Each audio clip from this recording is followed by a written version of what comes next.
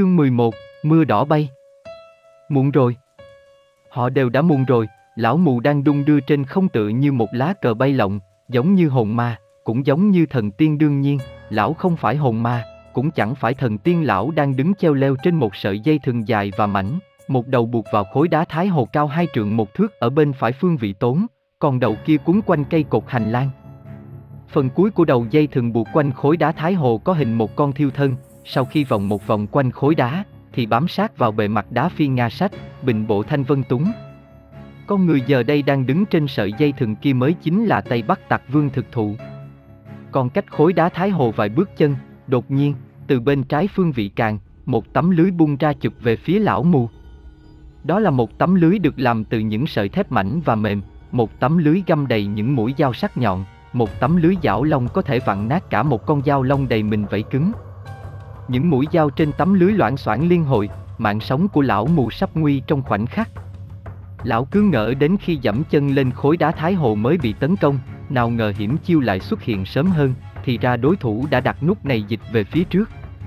Có lẽ do lần trước đã để lọt cho lão và lỗ thịnh hiếu một con đường sống, nên đối thủ đã phát hiện ra rằng có một số người sẽ bất chấp cả tính mạng để tìm cách đánh dấu. Bởi vậy nút lẫy đã phát động sớm hơn, không để họ có cơ hội tiến lại gần tấm lưới đã chụp đến nơi, lão mù đột nhiên bước hụt một bước, cả người rơi thẳng xuống phía dưới. Khi toàn bộ cơ thể của lão đã ở bên dưới phiên nga sách, lão lập tức đưa bàn tay trái túng chặt sợi dây, giữ thân người lại. Sợi dây thường dường như có khả năng đàn hồi, dưới sức kéo của cả cơ thể lão, lập tức bị lôi xuống dưới tạo thành một góc vuông. Tấm lưới bay sát qua phía trên sợi dây thừng, không chạm vào người lão, cũng không chạm vào phi nga sách. Sau khi lực kéo xuống đã tiêu tán, sợi dây thừng lại bật trở lên trên.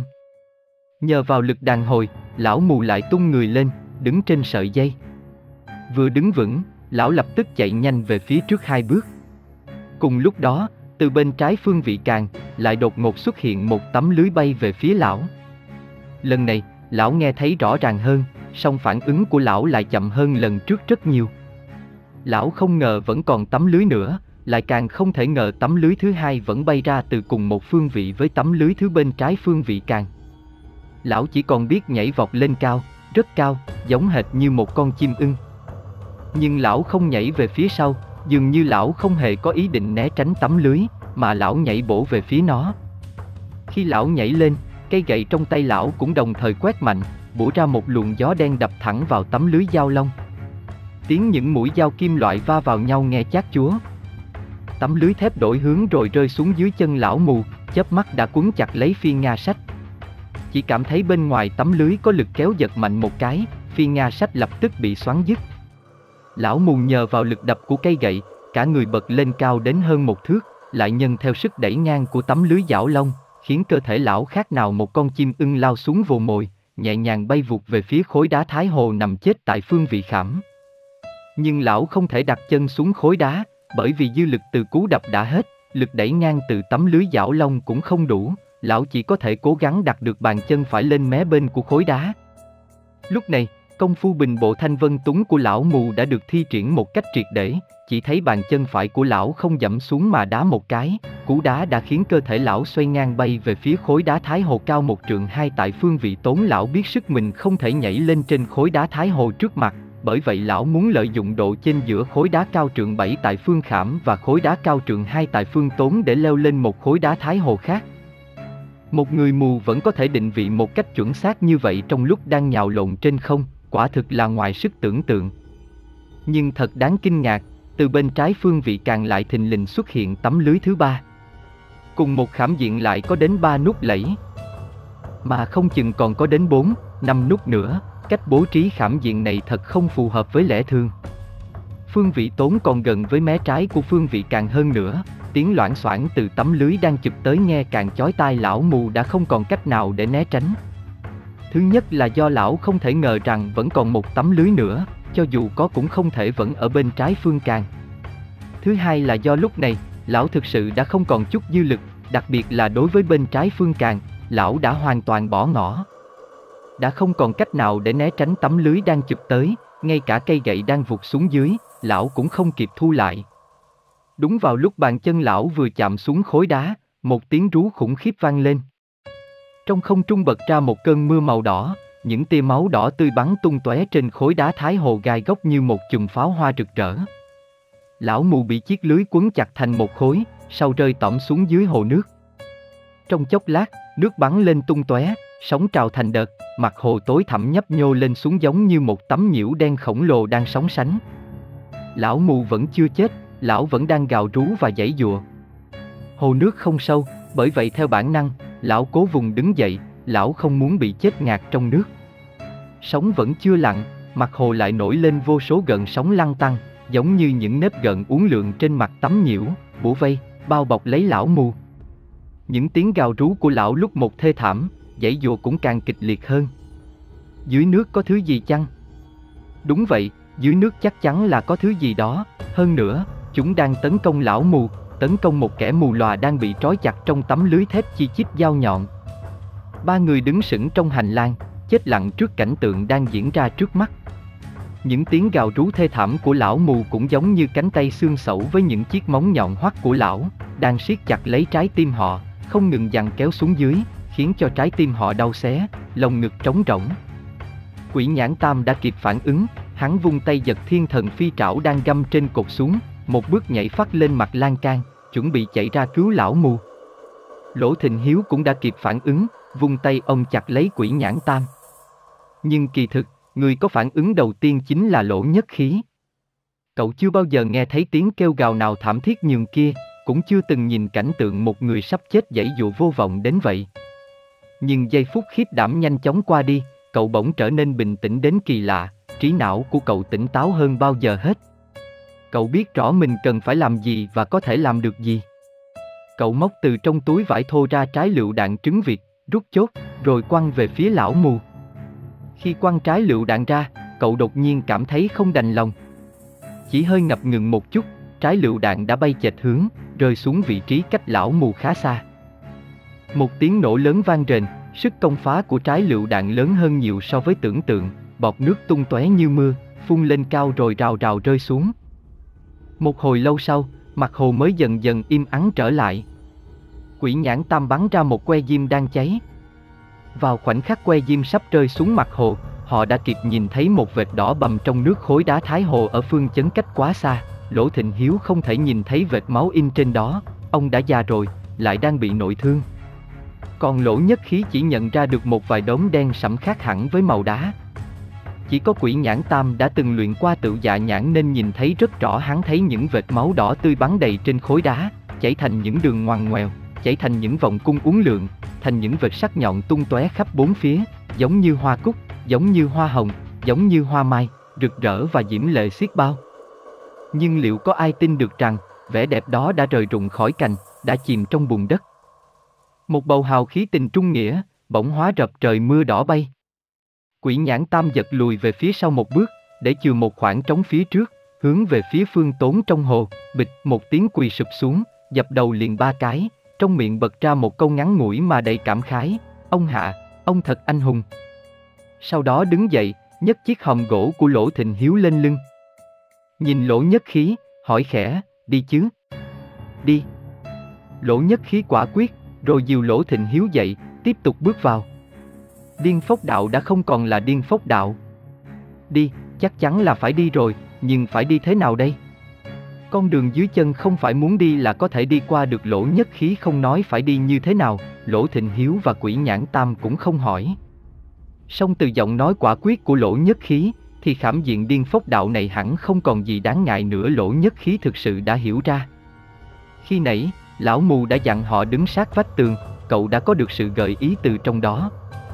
Trong Đồn giáp bí lục, có một chương, túc chướng, đã viết rằng, với những khảm diện tương tự như kiểu điên phốc đạo này, có thể bố trí thành một đường đơn lẻ, cũng có thể bố trí trên toàn bộ bề mặt. Bố trí trên toàn bộ bề mặt thường là ở những nơi có diện tích lớn, tức là thiết kế rất nhiều đường đơn lẻ đang xen vào nhau, nút nọ chồng lên nút kia, trái phải liên hoàn, trước sau giao hoán, cứ thế nối liền tới các khảm diện khác ở hai bên và phía trước, phía sau, như vậy sẽ phát huy được uy lực lớn hơn. Tuy nhiên, dù là đường đơn lẻ hay toàn bộ bề mặt, thì chúng đều phải có đường biên, khảm tử gia gọi đó là khảm diên. Nếu không có đường biên, thì nút lẫy ở mép ngoài cùng sẽ không thể bố trí được. nhưng khảm viên đa phần rất hẹp hoặc rộng hẹp không đều, có chỗ đủ để đặt chân, có chỗ không thể đặt chân xuống được. Cũng có khi khảm viên chỉ là những điểm đặt chân, lại bố trí không theo quy tắc. Như vậy, sẽ khiến cho những người muốn men theo đường biên để vượt khảm diện, hoặc là không có chỗ để đặt chân, hoặc là sẽ dẫm trúng vào khảm diện ở hai bên. Trước tác của Hoàng Kỳ Nhuệ người tương Bắc vào cuối triều nguyên Hoàng Kỳ Nhuệ là một đại gia về kỳ môn động giáp, chuyên nghiên cứu về bố trí cạm bẫy, từng bố trí, bách bộ không nhân nhai, không ai phá được. Sau khi 70 tuổi, ông không còn xuất hiện trong giang hồ, chỉ chuyên tâm viết sách, dốc hết các kỹ nghệ và trải nghiệm trong suốt cuộc đời để viết nên cuốn Độn Giáp Bí Lục. Một chương trong Độn Giáp Bí Lục nghiên cứu về quy luật và phản ứng của bước chân con người và động vật khi di chuyển, và kỹ pháp thiết kế cạm bẫy căn cứ vào đó. Trong một hành lang chật hẹp như thế này, chỉ có thể bố trí theo kiểu một đường đơn lẻ. Hơn nữa, một bên hành lang lại là vách tường, trong bố trí khám tử gọi nó là cương diện. Do đó, điên phốc đạo ở đây có lẽ sẽ có một đường khảm diên không thể bố trí tới được. Bởi vì có cương diện, nên chắc chắn nó sẽ liền một giải chứ không phải là từng điểm, hơn nữa rất có thể còn rộng hơn một chút so với khảm diên bình thường. Nếu không khảm diện sẽ không thể bố trí được, đường sống cũng không thể đi được. Mặt khác, nếu theo bộ pháp thông thường của đường sống, sẽ có bước chân phải dẫm lên vách tường, thậm chí là ở ngoài tường lỗ nhất khí không đi theo bộ pháp của đường sống, mà cậu đi vào đường biên của khảm diện. Dẫu rằng sẽ có chỗ rộng hẹp khác nhau, song khảm diện của cương diện chỉ cần thận trọng một chút, vẫn có thể đặt chân xuống được. Lỗ nhất khí dán người sát vào vách tường, xoay ngang người mà từ từ di chuyển, giống như cu bò. Di chuyển ngang một cách thận trọng trên đường biên nhỏ hẹp, quả thực không thể nhanh được. Lần này, lỗ nhất khí đi đầu tiên, một phần là vì cậu có đủ khả năng và dũng cảm, phần nữa là vì bác cậu và quỷ nhãn tam chắc chắn cũng muốn cậu đi trước. Cậu thầm nghĩ, có lẽ họ cảm thấy cậu có trực giác siêu việt, trên người lại có vần khí thần thánh, nên đi trước mở đường là an toàn nhất quỷ nhãn tam đi sau cùng, cứ bước hai bước lại ngẩng đầu nhìn khối đá thái hồ, quan sát xem những cánh hoa vẽ bằng máu tươi kia chuyển động và đổi hướng ra sao lỗ nhất khí không đi thẳng, mà mỗi khi bước tới bước thứ ba cậu đều dừng lại một lát, lưng dán chặt vào tượng, đá mạnh bàn chân, dùng gót chân đạp gãy viên gạch xanh nhô lên trên mặt đường. Những viên gạch xanh này tuy nhỏ và ngắn, song rất cứng, có viên phải đạp liền mấy cái mới vỡ. Cậu muốn chừa lại một đường lui nếu còn có cơ hội quay trở ra, sẽ có thể mau chóng thoát khỏi hành lang yến quy. Họ đã đi được 6-7 bước, lỗ nhất khí cúi xuống nhặt lấy chiếc đèn khí tử phong đang nằm trên mặt đất. Đèn vẫn chưa tắt, sau khi nhấc lên trên tay, ngọn đèn soi tỏ một khoảng khá rộng trong hành lang. Tắt đèn đi, nếu không chúng ta sẽ bị lộ hết. Không biết chừng nhất cử nhất động của chúng ta đang bị kẻ khác theo dõi cũng nên. Lỗ Thịnh Hiếu khẽ nhắc lỗ nhất khí mở chụp đèn thủy tinh vuông bốn mặt ra, thổi phù một cái ánh đèn phục tắt, trên bất đèn một tia khói trắng phất phơ, xung quanh thoát đã tối sầm. Con ngươi của lỗ nhất khí đang biến dạng, đang gấp rút co lại, không phải chỉ để thích ứng với màn đêm, mà còn vì căng thẳng và sợ hãi. Vì trong khoảnh khắc bóng tối ập tới, cậu nhìn thấy một cặp mắt xuất hiện trên chiếc chụp đèn thủy tinh. Thoạt tiên cậu ngỡ rằng đó là cặp mắt của mình phản chiếu trên đó, song cậu lập tức nhận ra mình đã sai. Cậu không thể có một cặp mắt như thế.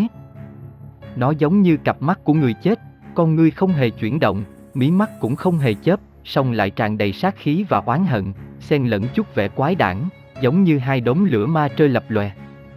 Cậu vừa khiếp sợ vừa nghi hoặc, không rõ rốt cuộc là bóng đêm thình lình ập tới, hay là cậu đã rơi vào địa ngục A Tỳ. Tại sao lại có một cặp mắt như của ác quỷ nhìn cậu chầm chầm như thế? Hơn nữa, ánh nhìn ác quỷ này hình như cậu đã gặp đâu đó trước cổng chính song lần này đã ở gần hơn. Chủ nhân của cặp mắt này có lẽ đang ở rất gần, bởi vì dường như cậu còn nhìn rõ những tia máu đỏ vàng trong con mắt. Tự như hắn đang đứng đối diện với cậu. Song thực tế lại cho thấy, bên cậu không có người nào khác. Nhưng cũng không có gì có thể cho cậu biết, cặp mắt đó liệu có phải là của con người hay không. Thế nhưng, động tác của lỗ nhất khí không hề hoảng loạn, thần thái vẫn hết sức thông thả đây chính là chỗ hơn người của cậu, là định lực được hình thành từ chính tính cách không thuộc ngũ hành. Cậu cũng đáp lại ánh mắt đó bằng ánh nhìn bình tĩnh điềm đạm, không chút kích động, tự như khơi một làn nước trong trẻo bao bọc lấy ngọn lửa ma trơi. Trong lúc nhìn, bàn tay cậu khẽ xoay chuyển chụp đèn thủy tinh, cậu hy vọng rằng trong lúc xoay chuyển, cặp mắt in trên đó sẽ có một vài biến hóa, để cậu tìm ra chút ít manh mối. Bề mặt thủy tinh của chụp đèn không hoàn toàn bằng phẳng, nên khi xoay chuyển, cặp mắt cũng méo sệt theo từng gờ lồi lõm. Chiếc chụp đèn có bốn mặt, mỗi khi xoay qua một mặt, cặp mắt lại càng biến dạng nhiều hơn, càng méo mó đến quái đản. Tuy nhiên, cặp mắt đã không xuất hiện trên mặt thứ ba của chụp đèn. Vừa xoay qua cạnh giữa mặt thứ hai và mặt thứ ba, nó đột ngột biến mất lỗ nhất khí vội vã xoay ngược trở lại một mặt, không thấy. Cậu lại xoay trở lại một mặt nữa, vẫn không thấy. Chương 12, đường trong gương. Lỗ nhất khí thở vào một cái, đẩy lại chiếc chụp đèn. Lỗ thịnh hiếu đưa tay đỡ lấy nó, xoay phần đế một vòng, chiếc đèn liền xẹp xuống như một cuốn sách, dễ dàng đút vào trong ngăn kéo nhỏ trên hòm gỗ. Họ đều im lặng, có một số điều chưa chắc có thể biểu đạt rõ ràng bằng lời nói. Họ tiếp tục men theo vách tường đi về phía trước, khi đã đi được khoảng hơn hai chục bước, quỷ nhãn tam đột ngột kêu lên, không được rồi, vệt máu quay lại. Lỗ thịnh hiếu nghe thấy vậy, vội vàng kéo lỗ nhất khí lại nói nhỏ, từ từ quay lại, chú ý xem xung quanh có gì thường không. Thế là ba người chậm chậm nhích về phía sau.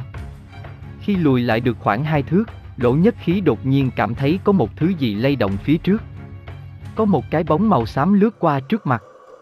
Cậu giật mình, theo bản năng nắm chặt lấy bán súng trong túi vải. Cái bóng trông quen quen, dường như cậu đã nhìn thấy ở đâu đó. Xong ngay lập tức cậu cực lực gạt bỏ suy nghĩ này, đó là điều không thể. Trước mặt cậu không có một người nào, vậy cái bóng đó ở đâu ra? Hơn nữa, nếu cái bóng đó thực sự tồn tại, thì hướng đi của người này là từ phía hồ nước ngoài lan can đi thẳng vào trong bức tường. Như vậy, cái bóng đó liệu có phải là người hay không? Là cậu hoa mắt hay chỉ là ảo giác? Thấy rồi chứ? Tiếng bác cậu hỏi nhỏ phía sau. Thấy rồi ạ. À? Cậu trả lời. Đúng là không phải cậu hoa mắt, nhìn cây cột phía trước kia, xem có gì không? Bác cậu nhắc nhở, đúng rồi, bây giờ họ đang cần phải tìm lối thoát. Mặc kệ cái bóng đó là yêu ma quỷ quái gì, cứ thoát khỏi hành lang này trước đã rồi tính lỗ nhất khí quan sát một lát rồi đi về phía cây cột trước mặt. Tại chỗ họ bị ngăn lại khi nãy đã vỡ mất hai viên gạch, bởi vậy trong phạm vi hai tổ hợp bước chân, họ có thể đi lại thoải mái. Giờ đây, trong đoạn hành lang này, hai viên gạch xanh nhô lên cũng đã bị đạp vỡ, như vậy họ cũng sẽ có thể tự do đi lại. Nếu nói rõ hơn, tức là gạch vỡ, khảm diện cũng được phá giải, giờ đây, đoạn hành lang trước mặt họ chỉ là một con đường bình thường chỉ hơi nhấp nhô chút đỉnh. Bác cậu đã nói đúng, đây không phải là điên phốc đạo. Trong bốn tự quyết của điên phốc đạo, nếu mất đi một, ba quyết còn lại vẫn hoạt động như thường. Nhưng con đường này lại khác, một quyết bị mất thì cả bốn quyết đều bị phá xem ra nó đúng là được thiết kế chuyên để đối phó với những khảm tử gia am hiểu điên phốc đạo. Cách bố trí này không những có tư duy độc đáo về mặt kỹ nghệ, mà còn ngầm hợp với cách cục thỉnh quân nhập ung trong 72 cách cục của kỳ môn động giáp. Mời ngài vào trong vò, tức là bày sẵn mồi nhữ cho đối phương tự chui đầu vào cạm bẫy.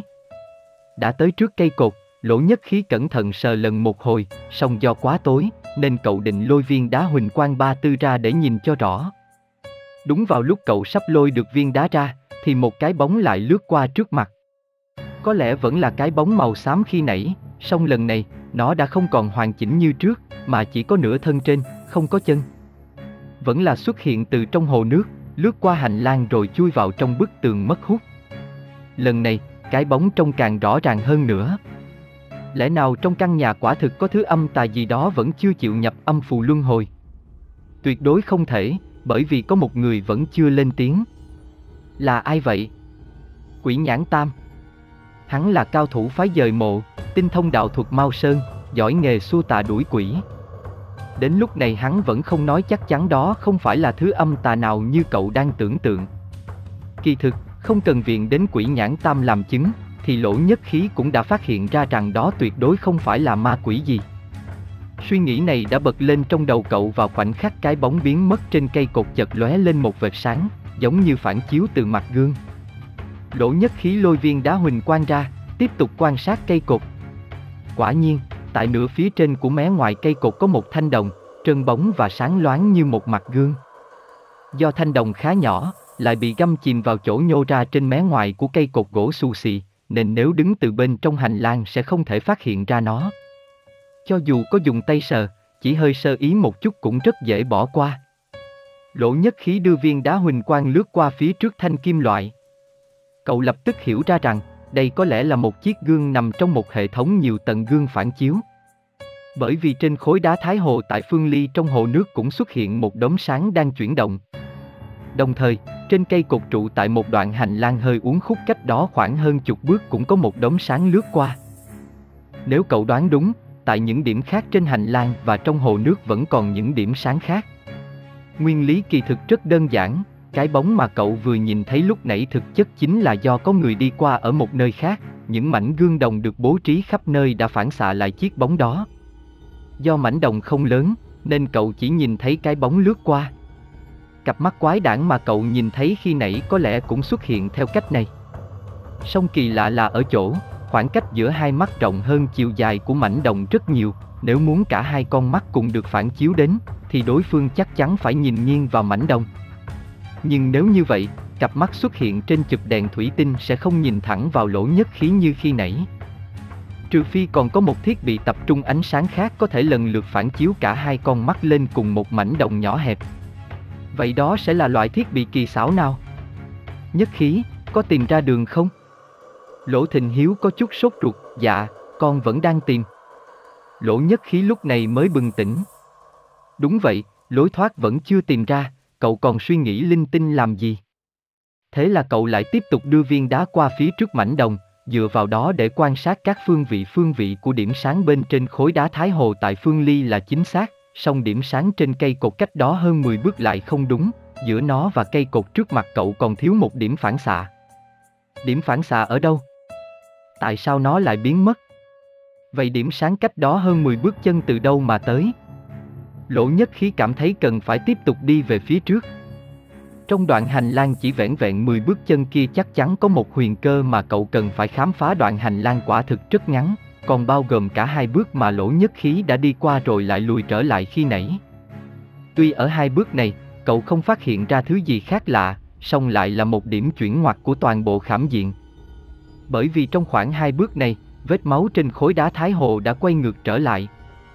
Cũng có nghĩa là, con đường dưới chân họ đã quay vòng trở lại, đây là một điều rất khó tưởng tượng, tuy đoạn hành lang ở chỗ này có hơi khúc khuỷu, lại rộng hẹp không đều, nhưng nếu là quay vòng trở lại, đáng lẽ vẫn phải nhìn ra mới đúng. Không đợi lỗ nhất khí tiếp tục tiến lên trên con đường điên phốc đạo giả, thì quỷ nhãn tam đã tranh vượt lên từ đoạn đường biên sát tường phía trước. Từ miệng hắn chỉ bật ra ba tiếng gọn lõm để tôi xem. Nói xong, hắn liền từ từ dựa sát tường mà tiến, lỗ nhất khí muốn đi theo, song bị hắn ngăn lại quỷ nhãn tam bước đi hết sức thận trọng, vẫn tuân theo cách lúc trước, cứ đến tự quyết thứ ba là nhảy trong mỗi tổ hợp bước chân. Đều đá gãy những viên gạch xanh nhô lên trên nền hành lang. Lỗ nhất khí vừa quan sát quỷ nhãn tam, vừa đưa viên đá huỳnh quang ba tư qua lại phía trước giải đồng trên cột trụ khi quỷ nhãn tam đã đi được hai tổ hợp rưỡi bộ phát, lỗ thịnh hiếu đột ngột kêu lên, được rồi, nguyên lý phản chiếu ánh sáng lấy gặp đôi làm chuẩn, cậu hãy đi ngược trở lại trước hết hãy tìm ra vị trí chuyển ngoặt chính xác, lối thoát chắc hẳn là ở gần chỗ chuyển ngoặt đó. Tức là góc phản xạ bằng với góc ánh sáng chiếu tới, tia phản xạ nằm trên cùng một mặt phẳng với tia chiếu tới. Quỷ nhãn tam bắt đầu đi ngược trở lại, hắn không cần thiết phải đi sát vào tường nữa, bởi vì những viên gạch nhô lên tại bước thứ ba đều đã bị hắn đạp gãy. Thế nhưng hắn vẫn đi rất chậm, đặc biệt là khi còn cách hai người khoảng 4, 5 bước, hắn lại càng bước chậm hơn, vừa di chuyển vừa quan sát kỹ lưỡng trên dưới, phải trái, hy vọng có một lối thoát nào đó sẽ hiện ra trước con mắt cú vọ của mình. Không đúng, chỗ này hình như không phải là lấy gặp đôi làm chuẩn, có lẽ vẫn ở phía trước.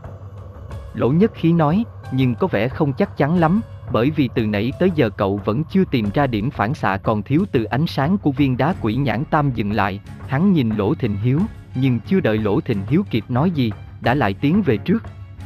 Không hiểu vì sao hắn luôn cảm thấy mỗi lời nói của Lỗ Nhất Khí dường như là một mệnh lệnh mà hắn cần phải thi hành. Khi sắp đi được 8 bước, thì đột nhiên có một đốm sáng nhảy lên trên người quỷ nhãn Tam, đừng cử động, cậu Tam, cậu đứng nguyên đấy chớ có lùi lại. Đốm sáng xuất hiện khiến cho giọng nói của Lỗ Thịnh Hiếu tràn đầy phấn khởi. Ông mừng vì đã sắp tìm ra đường sống, và cũng vì nhận thức và hiểu biết của Lỗ Nhất Khí. Xem ra việc ông ngắm ngầm chuyển các loại điển tịch tàn thư tới. Mai Sấu Hiên để cậu tùy ý học theo cảm hứng quả thực đã mang lại hiệu quả không nhỏ. Sự xuất hiện của đốm sáng cũng khiến lỗ nhất khí rất vui mừng. Cậu đối chiếu hướng phản xạ của đốm sáng một lát rồi nói, anh Tam, anh di chuyển lên phía trước một chút, hãy đá vỡ viên gạch ở quyết thứ ba trước đã rồi tính sau. Lời của lỗ nhất khí vẫn như là mệnh lệnh, còn quỷ nhãn tam dường như rất sẵn sàng phục tùng theo. Quỷ nhãn tam tiếp tục bám theo vách tường di chuyển về phía trước một chút. Giờ đây, hắn đang đứng ở chỗ thắt của hành lang, trên vách tường có một chỗ lồi ra thành nửa cung tròn, đoạn lồi vừa hay trùng khớp với điểm phản xạ của cây cột ngoài 10 bước chân, khiến cho khi đứng từ đây nhìn ra, tầm nhìn bỗng nhiên mở rộng, trước mặt là một quan cảnh hoàn toàn khác. Quỷ nhãn tam chưa quan sát kỹ tình hình xung quanh, mà đưa chân đá gãy viên gạch trước. Hắn dồn sức vào chân đạp mạnh, thân người liền ngã về phía sau. Đáng lý ra có thể tì vào vách tường để đỡ lấy cơ thể. Nhưng không hiểu sao, chỉ thấy cả thân người quỷ nhãn tam trượt nghiêng theo vách tường đổ xuống, chốc lát biến mất tâm trong vách tường. Thôi chết rồi, có bẫy. Lỗ nhất khí kêu lớn, không cần biết gì nữa, lập tức lao về phía trước để cứu quỷ nhãn tam.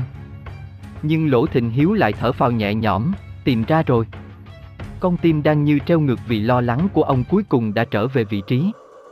Tuy hành lang Yến Quy ở đây được thiết kế tinh diệu hơn nhiều so với hành hang mà ông đã lạc vào hơn 20 năm về trước, song vạn biến vẫn không lìa tông, nếu đánh dấu được trên cột trụ chính giữa, chắc chắn sẽ tìm ra chỗ khuyết, lối thoát sẽ ở gần chỗ khuyết đó. Khối đá Thái Hồ cũng giống như cột trụ thất phong năm xưa, đều dùng để làm rối loạn tư duy và thị giác. Song do ký hiệu lần này không được đánh dấu tại điểm chính giữa trên cột, bởi vậy, lối thoát có hơi lệch một chút so với điểm chuyển ngoặt. Nghĩ đến ký hiệu, Lỗ Thịnh Hiếu lại nhớ tới lão mù, ông ngoảnh đầu nhìn về phía hồ nước, một nỗi đau xót nghẹn lại trong lòng ngực. Có đường, đi chứ. Lỗ nhất khí còn chưa kịp chạy đến nơi, quỷ nhãn tam đã như một bóng ma ló đầu ra khỏi bức vách, hỏi, đi thôi, ở những nơi thế này, những con đường bất ngờ chính là đường sống, khó là ở chỗ tìm không ra. Lỗ Thịnh Hiếu trả lời lỗ nhất khí cất viên đá huỳnh quang ba tư vào trong túi vải, quay lại dìu bác đi về phía trước. Đến sát chỗ đó, quan sát kỹ liền phát hiện ra rằng, phía sau chỗ tường lồi hình nửa cung tròn, có một đoạn tường nhọn, mặt bên trong là đường thẳng, mặt bên ngoài là đường chéo quỷ nhãn tam đã trượt vào trong tường từ mặt thẳng ở bên trong của đoạn tường. Ở bên trên lối vào có lắp hai tấm gương đồng hình vuông cao lớn. Hai tấm gương đồng đã phản chiếu phần tường lồi ra, hòa thành một thể với phần vách tường ở phía trước và sau nó, khiến cho mọi người khi đi qua phần tường lồi ra, tự nhiên sẽ men theo mé bên ngoài của đoạn tường mà đi xéo về phía trước, nhưng kỳ thực đó chính là chỗ quay vòng trở lại, đồng thời, lại nhầm tưởng rằng mé bên trong là một vách tường liền khít, mà không biết rằng có đường đi ngầm ở bên trong. Cách bố trí đã lợi dụng hiện tượng sai lệch thị giác và thói quen của con người, quả là xảo diệu vô cùng. Đừng nói là trong đêm tối, cho dù giữa ban ngày, nếu không tìm kiếm cẩn thận, cũng khó mà phát hiện ra.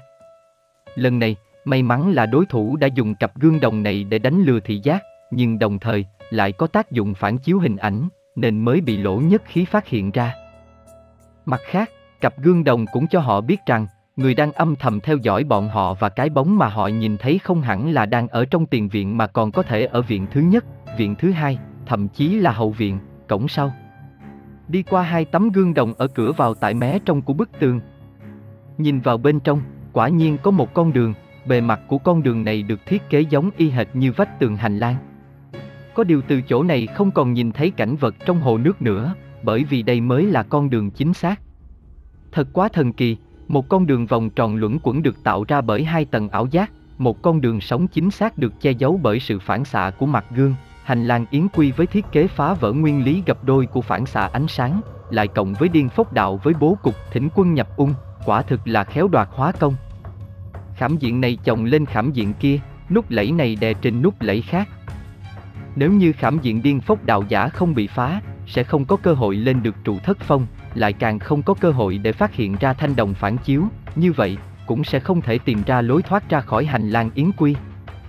Trong lúc trầm trồ tháng phục, lỗ nhất khí vẫn tỉ mỉ quan sát góc độ của tấm gương đồng, đột nhiên một nghi vấn trỗi dậy trong cậu.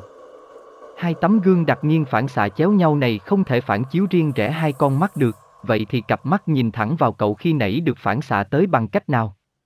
Thế nhưng giờ đây không phải là lúc để nghiên cứu về việc đó, bác cậu đang dục cậu đi mau.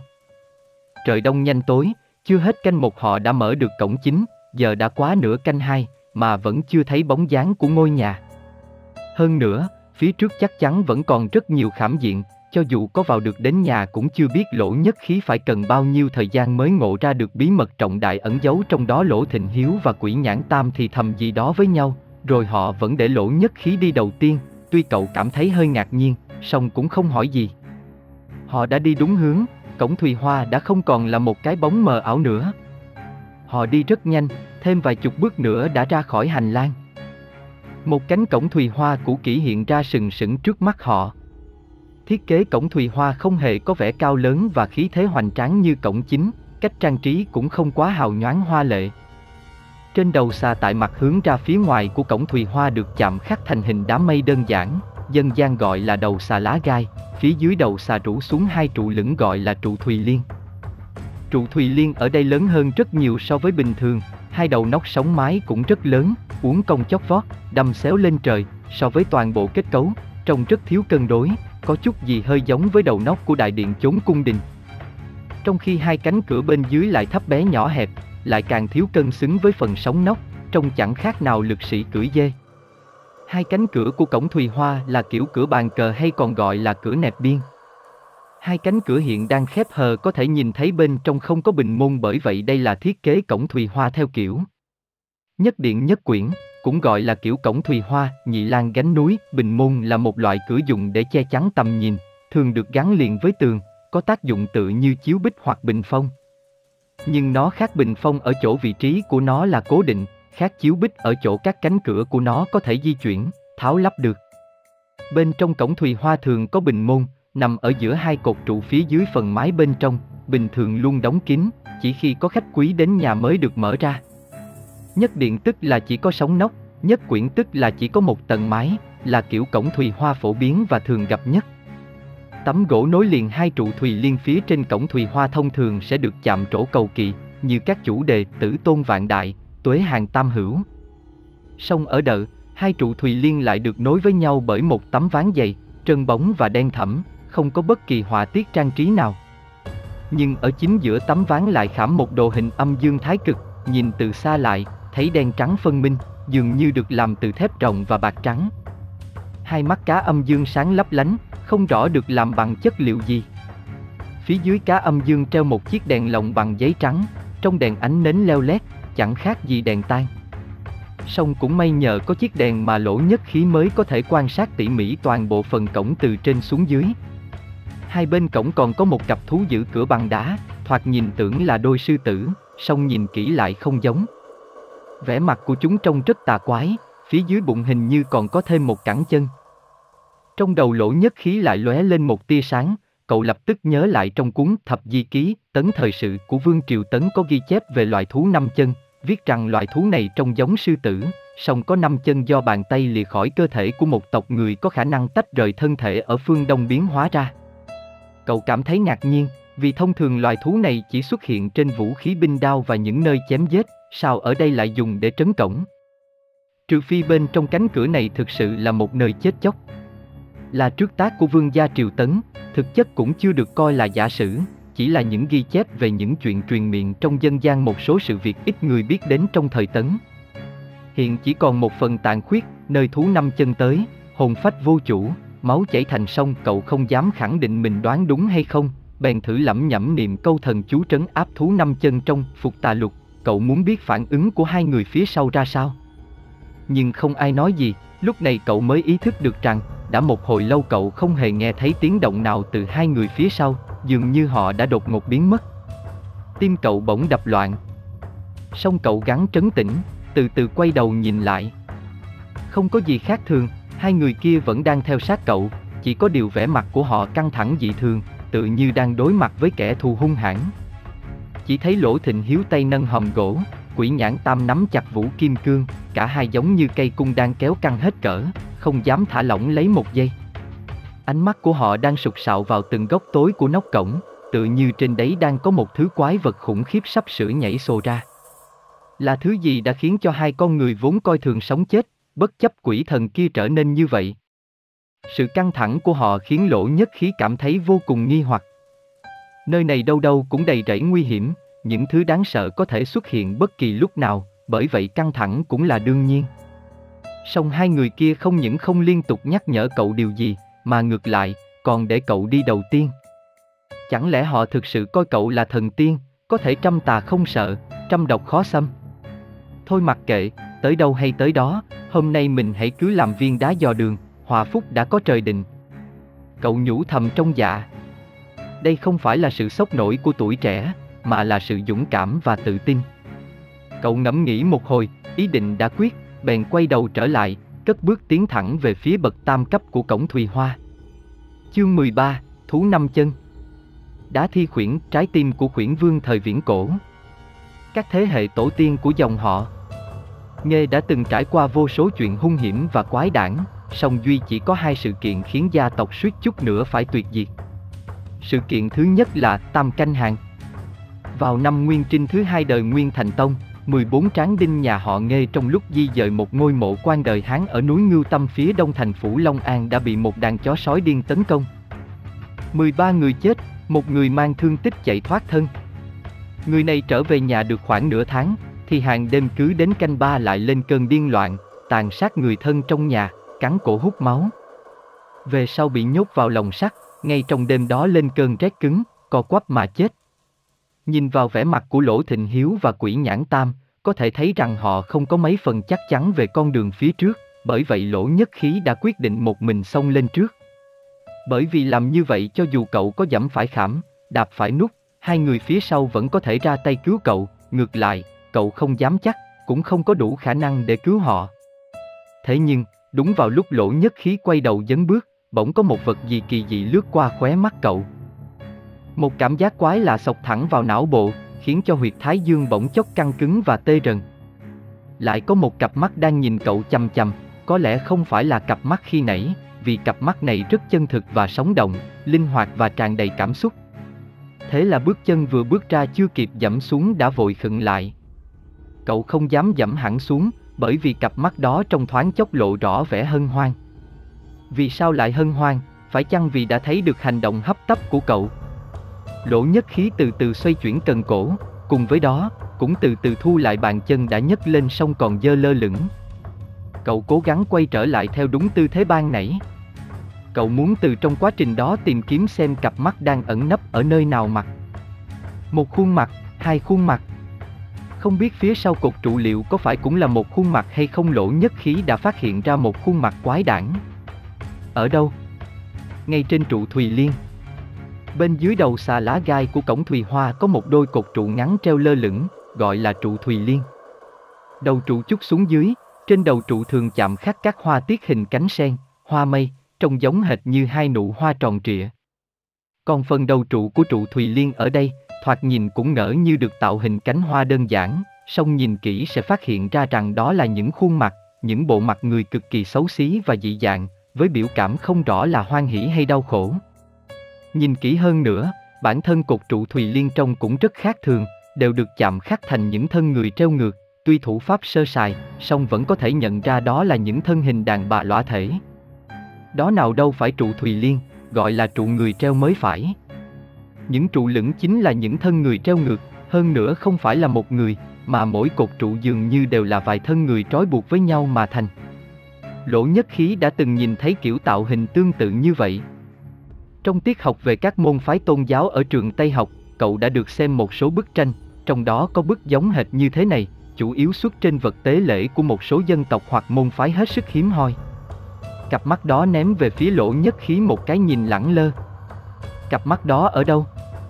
Ở trên một khuôn mặt, một khuôn mặt vô cùng ma quái. Khuôn mặt có thêm đôi mắt, trở nên sinh động hơn gấp bội. Lại thêm một cặp mắt nữa, trong đó có một con mắt tinh nghịch nháy một cái với cậu. Vẫn còn những cặp mắt nữa, đang đông đưa, đang nhấp nháy, đang nhăn nhó. Cặp mắt sống dậy, khuôn mặt dường như cũng sống dậy theo, tuy đang treo ngược, song vẫn có thể thấy rõ nét biểu cảm chân thực trên từng khuôn mặt. Chốc thì vui mừng, chốc lại đau khổ, chốc thành ngây thơ, chốc biến dâm đảng. Dường như mọi khía cạnh tâm lý của người đàn bà đều được lột tả trọn vẹn qua từng bộ mặt lỗ nhất khí bắt đầu nghi ngờ cặp mắt của mình. Cậu muốn tiến thêm một bước tới gần trụ Thùy Liên để nhìn cho rõ. nhưng một bàn tay đã túng chặt lấy lưng áo cậu. Là quỷ nhãn tam, hắn vẫn đang bám sát sau lưng cậu, cậu cả, đi thẳng tới trước cửa, mọi chuyện khác để tôi ứng phó. Quỷ nhãn tam dường như đã biết những cặp mắt đó là gì. Thế là lỗ nhất khí không tiến về phía trụ Thùy Liên nữa. Song cậu cũng chưa đi thẳng tới trước cửa, bởi vì cậu muốn biết rõ chân tướng của sự việc. Trong lòng vô cùng thắc mắc, vì dường như cả hai người kia đều đã biết trước một điều gì, song lại không nói cho cậu biết. Còn nữa, vì sao họ lại muốn để một mình cậu đi thẳng vào trong? Chẳng lẽ họ không sợ sau cánh cửa có mối nguy hiểm mà cậu không đủ khả năng ứng phó hay sao? Lỗ nhất khí vẫn bước đi trước, không quay người lại. Quỷ nhãn tam đi theo sau, vẻ cảnh giác cao độ, lỗ thịnh hiếu đi sau cùng, cũng hết sức đề phòng, chỉ hơi xoay nghiêng thân dưới, đưa mặt chết sang bên vai phải của quỷ nhãn tam. Làm như vậy là để bảo đảm lỗ nhất khí có thể nghe rõ lời ông nói, nhất khí, bác biết con đã đọc hết các sách vở bí truyền của dòng họ, chắc hẳn con cũng hiểu rằng, những thứ mà gia tộc chúng ta để lại đa phần đều là những thủ pháp trung hậu dùng để cứu nhân độ thế, cùng lắm cũng chỉ là một số chiêu pháp biến hóa để vây khốn người khác, nhưng tuyệt đối không gây tổn hại đến sinh linh. Ngoài ra cũng có một ít kỹ pháp liên quan đến huyền cơ phong thủy, tính toán số trời. Dù là phương diện nào, về cơ bản đều là từ tổ tông một mạch truyền thừa, không có biến cải nào đáng kể. Song đối thủ lại khác hẳn, kỹ nghệ do tổ tông họ truyền lại vốn dĩ đã vô cùng độc địa, đời sau lại liên tục xuất hiện hào kiệt anh hùng, họ không ngừng tìm kiếm các kỳ công dị thuật trong thiên hạ, liên tục cải tiến biến hóa, bởi vậy, thủ đoạn của họ không chỉ rất cao minh, mà chủng loại cũng vô cùng đa dạng. Những thứ mà chúng ta vừa gặp, đã rất mực tinh xảo, song đều là khảm tử chết. Thông thường khảm tử chết sẽ không có nút tất chết, nếu biết cách phá giải thì sẽ giải được, nếu không giải được, vẫn có thể phá. Chúng vẫn chưa thấm vào đâu, đáng sợ là họ còn có khảm tử sống. Trong khảm tử sống đa phần là nút chết, tức là họ dùng các vật sống quái dị đã qua rèn luyện đặc biệt cài vào trong khảm diện gia truyền để làm nút lẫy, khiến cho chúng liên kết chặt chẽ với nhau, lấy mạng đoạt hồn đối thủ. Đến giờ, chúng ta mới chỉ nhìn thấy một nút sống của đối phương, đó là trắng hoàng vĩ ống trúc. Hơn nữa vẫn chỉ là cách bố trí và sử dụng đơn giản nhất của trắng hoàng vĩ. Nói tới đây, Lỗ Thịnh Hiếu ho khụ khụ một tràng. Tổn thương vừa nãy đã khiến ông trông càng thêm suy sụp và già nua, gắn gượng lắm mới lấy lại được nhịp thở, nói, cậu Tam, cậu nói tiếp đi. Quỷ nhãn Tam là kẻ kiệm lời, nói năng lúc nào cũng rất ngắn gọn mạch lạc, khảm diện sống, một người vào, khảm diện khi vào không động, khi ra mới động, khi vào đường chính không động, đường rẽ động, để tránh phá rối khảm diện. Nhiều người vào, người đi đầu không động, người sau động. Nói đoạn, liền giơ cây vũ kim cương trong tay xỉa về phía trụ Thùy Liên, nói tiếp. Đó là cục tế của bộ tộc ngự nữ vùng Nam Cương trong đó có chứa loại rắn kim châm đầu xám. Cậu đi thẳng vào theo đường chính, cơ quan động, rắn sẽ tấn công chúng tôi, cậu đi sang bên cạnh tới gần chúng, chúng sẽ tấn công cậu. Nam Cương tức khu vực biên cương hẻo lánh phía nam của Trung Quốc gồm các vùng Quảng Tây, Vân Nam. Lỗ nhất khí vẫn chưa hiểu lắm. Cậu nheo mắt lại, nhìn về phía trụ Thùy Liên. Cậu chỉ nhìn bằng bốn phần, còn sáu phần là nhờ cảm giác. Trong cảm giác của cậu, những cặp mắt đó đang dần dần tiến lại gần, dần dần phóng to lên, tự như đang ở ngay trước mắt. Một cảnh tượng kinh dị đập vào mắt khiến cậu lợm giọng, trong đó lúc nhúc vô số đầu rắn bé xíu, đang há miệng, nhe nanh, quằn quại, lưỡi nhọn thuộc thò, miệng rồng rồng nhất giải. Nhìn từ xa, chúng giống hệt như những con mắt linh động, kết hợp với những khuôn mặt kỳ quái, toát lên vô số biểu cảm rùng rợn. Lúc này, lỗ nhất khí đã hiểu ra. Cậu không phải là thần tiên, mà cậu là báu vật, chỉ ít bác cả và nghe tam đã coi cậu là báu vật. Cậu cũng không phải là viên đá dò đường, mà là một món đồ sứ mỏng manh cần phải hết sức nâng niu bảo vệ. Bác cả và Nghê Tam đang dùng chính tính mạng của họ để làm cây dù che chở cho cậu. Cậu không biết mình nên hổ thẹn hay là cảm kích, song cậu biết rằng cậu cần phải bảo vệ được mạng sống của mình để hoàn thành đại sự mà tổ sư gia lỗ ban đã ủy thác lại cho họ, con hiểu rồi. Vậy con đi trước, hai người cẩn thận. Lỗ nhất khí nói đoạn, không ngoảnh đầu lại, bước thẳng lên bậc tam cấp. Cậu vẫn lo lắng không biết cách bố trí tại nơi này có đúng như quỷ nhãn tam vừa nói hay không, khảm diện của đối phương liệu có biến hóa gì khác. Bởi vậy, tay cậu nắm chắc bán súng, bàn chân một bước một dừng, vô cùng thận trọng may sao, cậu đã đi thẳng tới phía trước cổng Thùy Hoa mà vẫn không có chuyện gì xảy ra. song cậu lại không biết bước tiếp theo phải làm gì. Đẩy cánh cửa đang khép hờ kia ra, hay là cứ thế lách vào qua khe hở. Chính trong lúc cậu đang ngập ngừng, thì ở phía sau, quỷ nhãn tam cũng đã bước lên bậc tam cấp. Bàn chân hắn vừa chạm đất, chỉ nghe thấy một tiếng lanh lảnh vang lên từ cá âm dương màu đen phía trên đầu quỷ nhãn tam giật mình kinh hãi, cây dù sắt trên tay bật ra đánh, ken, một tiếng, chớp mắt cả người hắn đã thu lưu bên dưới tán dù. Lỗ thình hiếu nhảy bật về phía sau, lùi lại liền bốn năm bước. Lỗ nhất khí cũng cảnh giác ngồi thụt xuống, tay trái chống đất, xoay người dương súng nhằm về trụ Thùy Liên bên phải. Trụ Thùy Liên vẫn không hề động tĩnh, chỉ có những con mắt vẫn nhấp nháy liên hồi trên những khuôn mặt quái đản khảm tử không động. Lẽ nào chúng đã vô hiệu? Đâu có dễ dàng như vậy. Hai luồng gió bỗng trích đánh vào qua tai lỗ nhất khí. Từ hai con thú năm chân hai bên cổng, mỗi con bay vụt ra một cẳng chân, là cái chân thứ năm dưới bụng thú đá. Một chiếc lao về phía quỷ nhãn tam, chiếc còn lại bay về phía sau hắn. Không ai lưu tâm tới hai cẳng chân biết bay này, họ đều dồn toàn bộ sức chú ý vào trụ Thùy Liên. Quỷ nhãn tam đang ở rất gần thú năm chân, hơn nữa, cây dù sắt trong tay hắn đã chắn mất tầm nhìn, nên hắn không biết rằng có một vật đang phóng đến. Hiển nhiên, hắn đã không thể tránh né được nữa. Thế nhưng, do hắn đang thu mình dưới tán dù, nên cẳng chân của thú đã lao trúng phần tán của Vũ Kim Cương. Cẳng chân còn lại lao vụt về phía sau quỷ nhãn tam, vốn dĩ Lô Thịnh Hiếu đứng ở chỗ đó, song ông đã kịp lùi lại vài bước, nên cẳng chân rơi thẳng xuống mặt đất. Cả hai cẳng chân đều đã bắn trượt, song như thế không có nghĩa là nút đã được tháo gỡ, càng không thể chứng tỏ khảm diện đã được phá giải, mà ngược lại còn cho thấy, cơ quan mới bắt đầu khởi động, bởi lẽ hai cẳng chân bay vẫn chưa chịu dừng lại. Cẳng chân lao về phía quỷ nhãn tam sau khi đập phải vũ kim cương, lập tức chuyển hướng, bay quanh hắn nửa vòng tròn, rồi nhẹ nhàng rơi xuống. Vừa chạm đất, lại bật xéo lên trên, chưa kịp bay cao, lại tiếp tục đổi hướng. Cẳng chân còn lại cũng tương tự như vậy, sau khi chạm đất, lập tức chuyển hướng bay về phía lỗ thịnh hiếu. Do tốc độ quá nhanh, lỗ thịnh hiếu còn chưa kịp nhìn rõ, chỉ theo phản xạ đưa bàn tay trái lên che mặt. Song cẳng chân thú không đâm vào ông mà lại đột ngột chuyển hướng, bay vòng quanh một quãng, rơi xuống đất rồi tiếp tục lao vụt lên. Hai cẳng chân bay giống như hai con xúc sắc đang bị lắc cật lực trong ống sắt, bay qua đập lại liên hồi với tốc độ chóng mặt, một hồi lâu sau mới chịu dừng lại.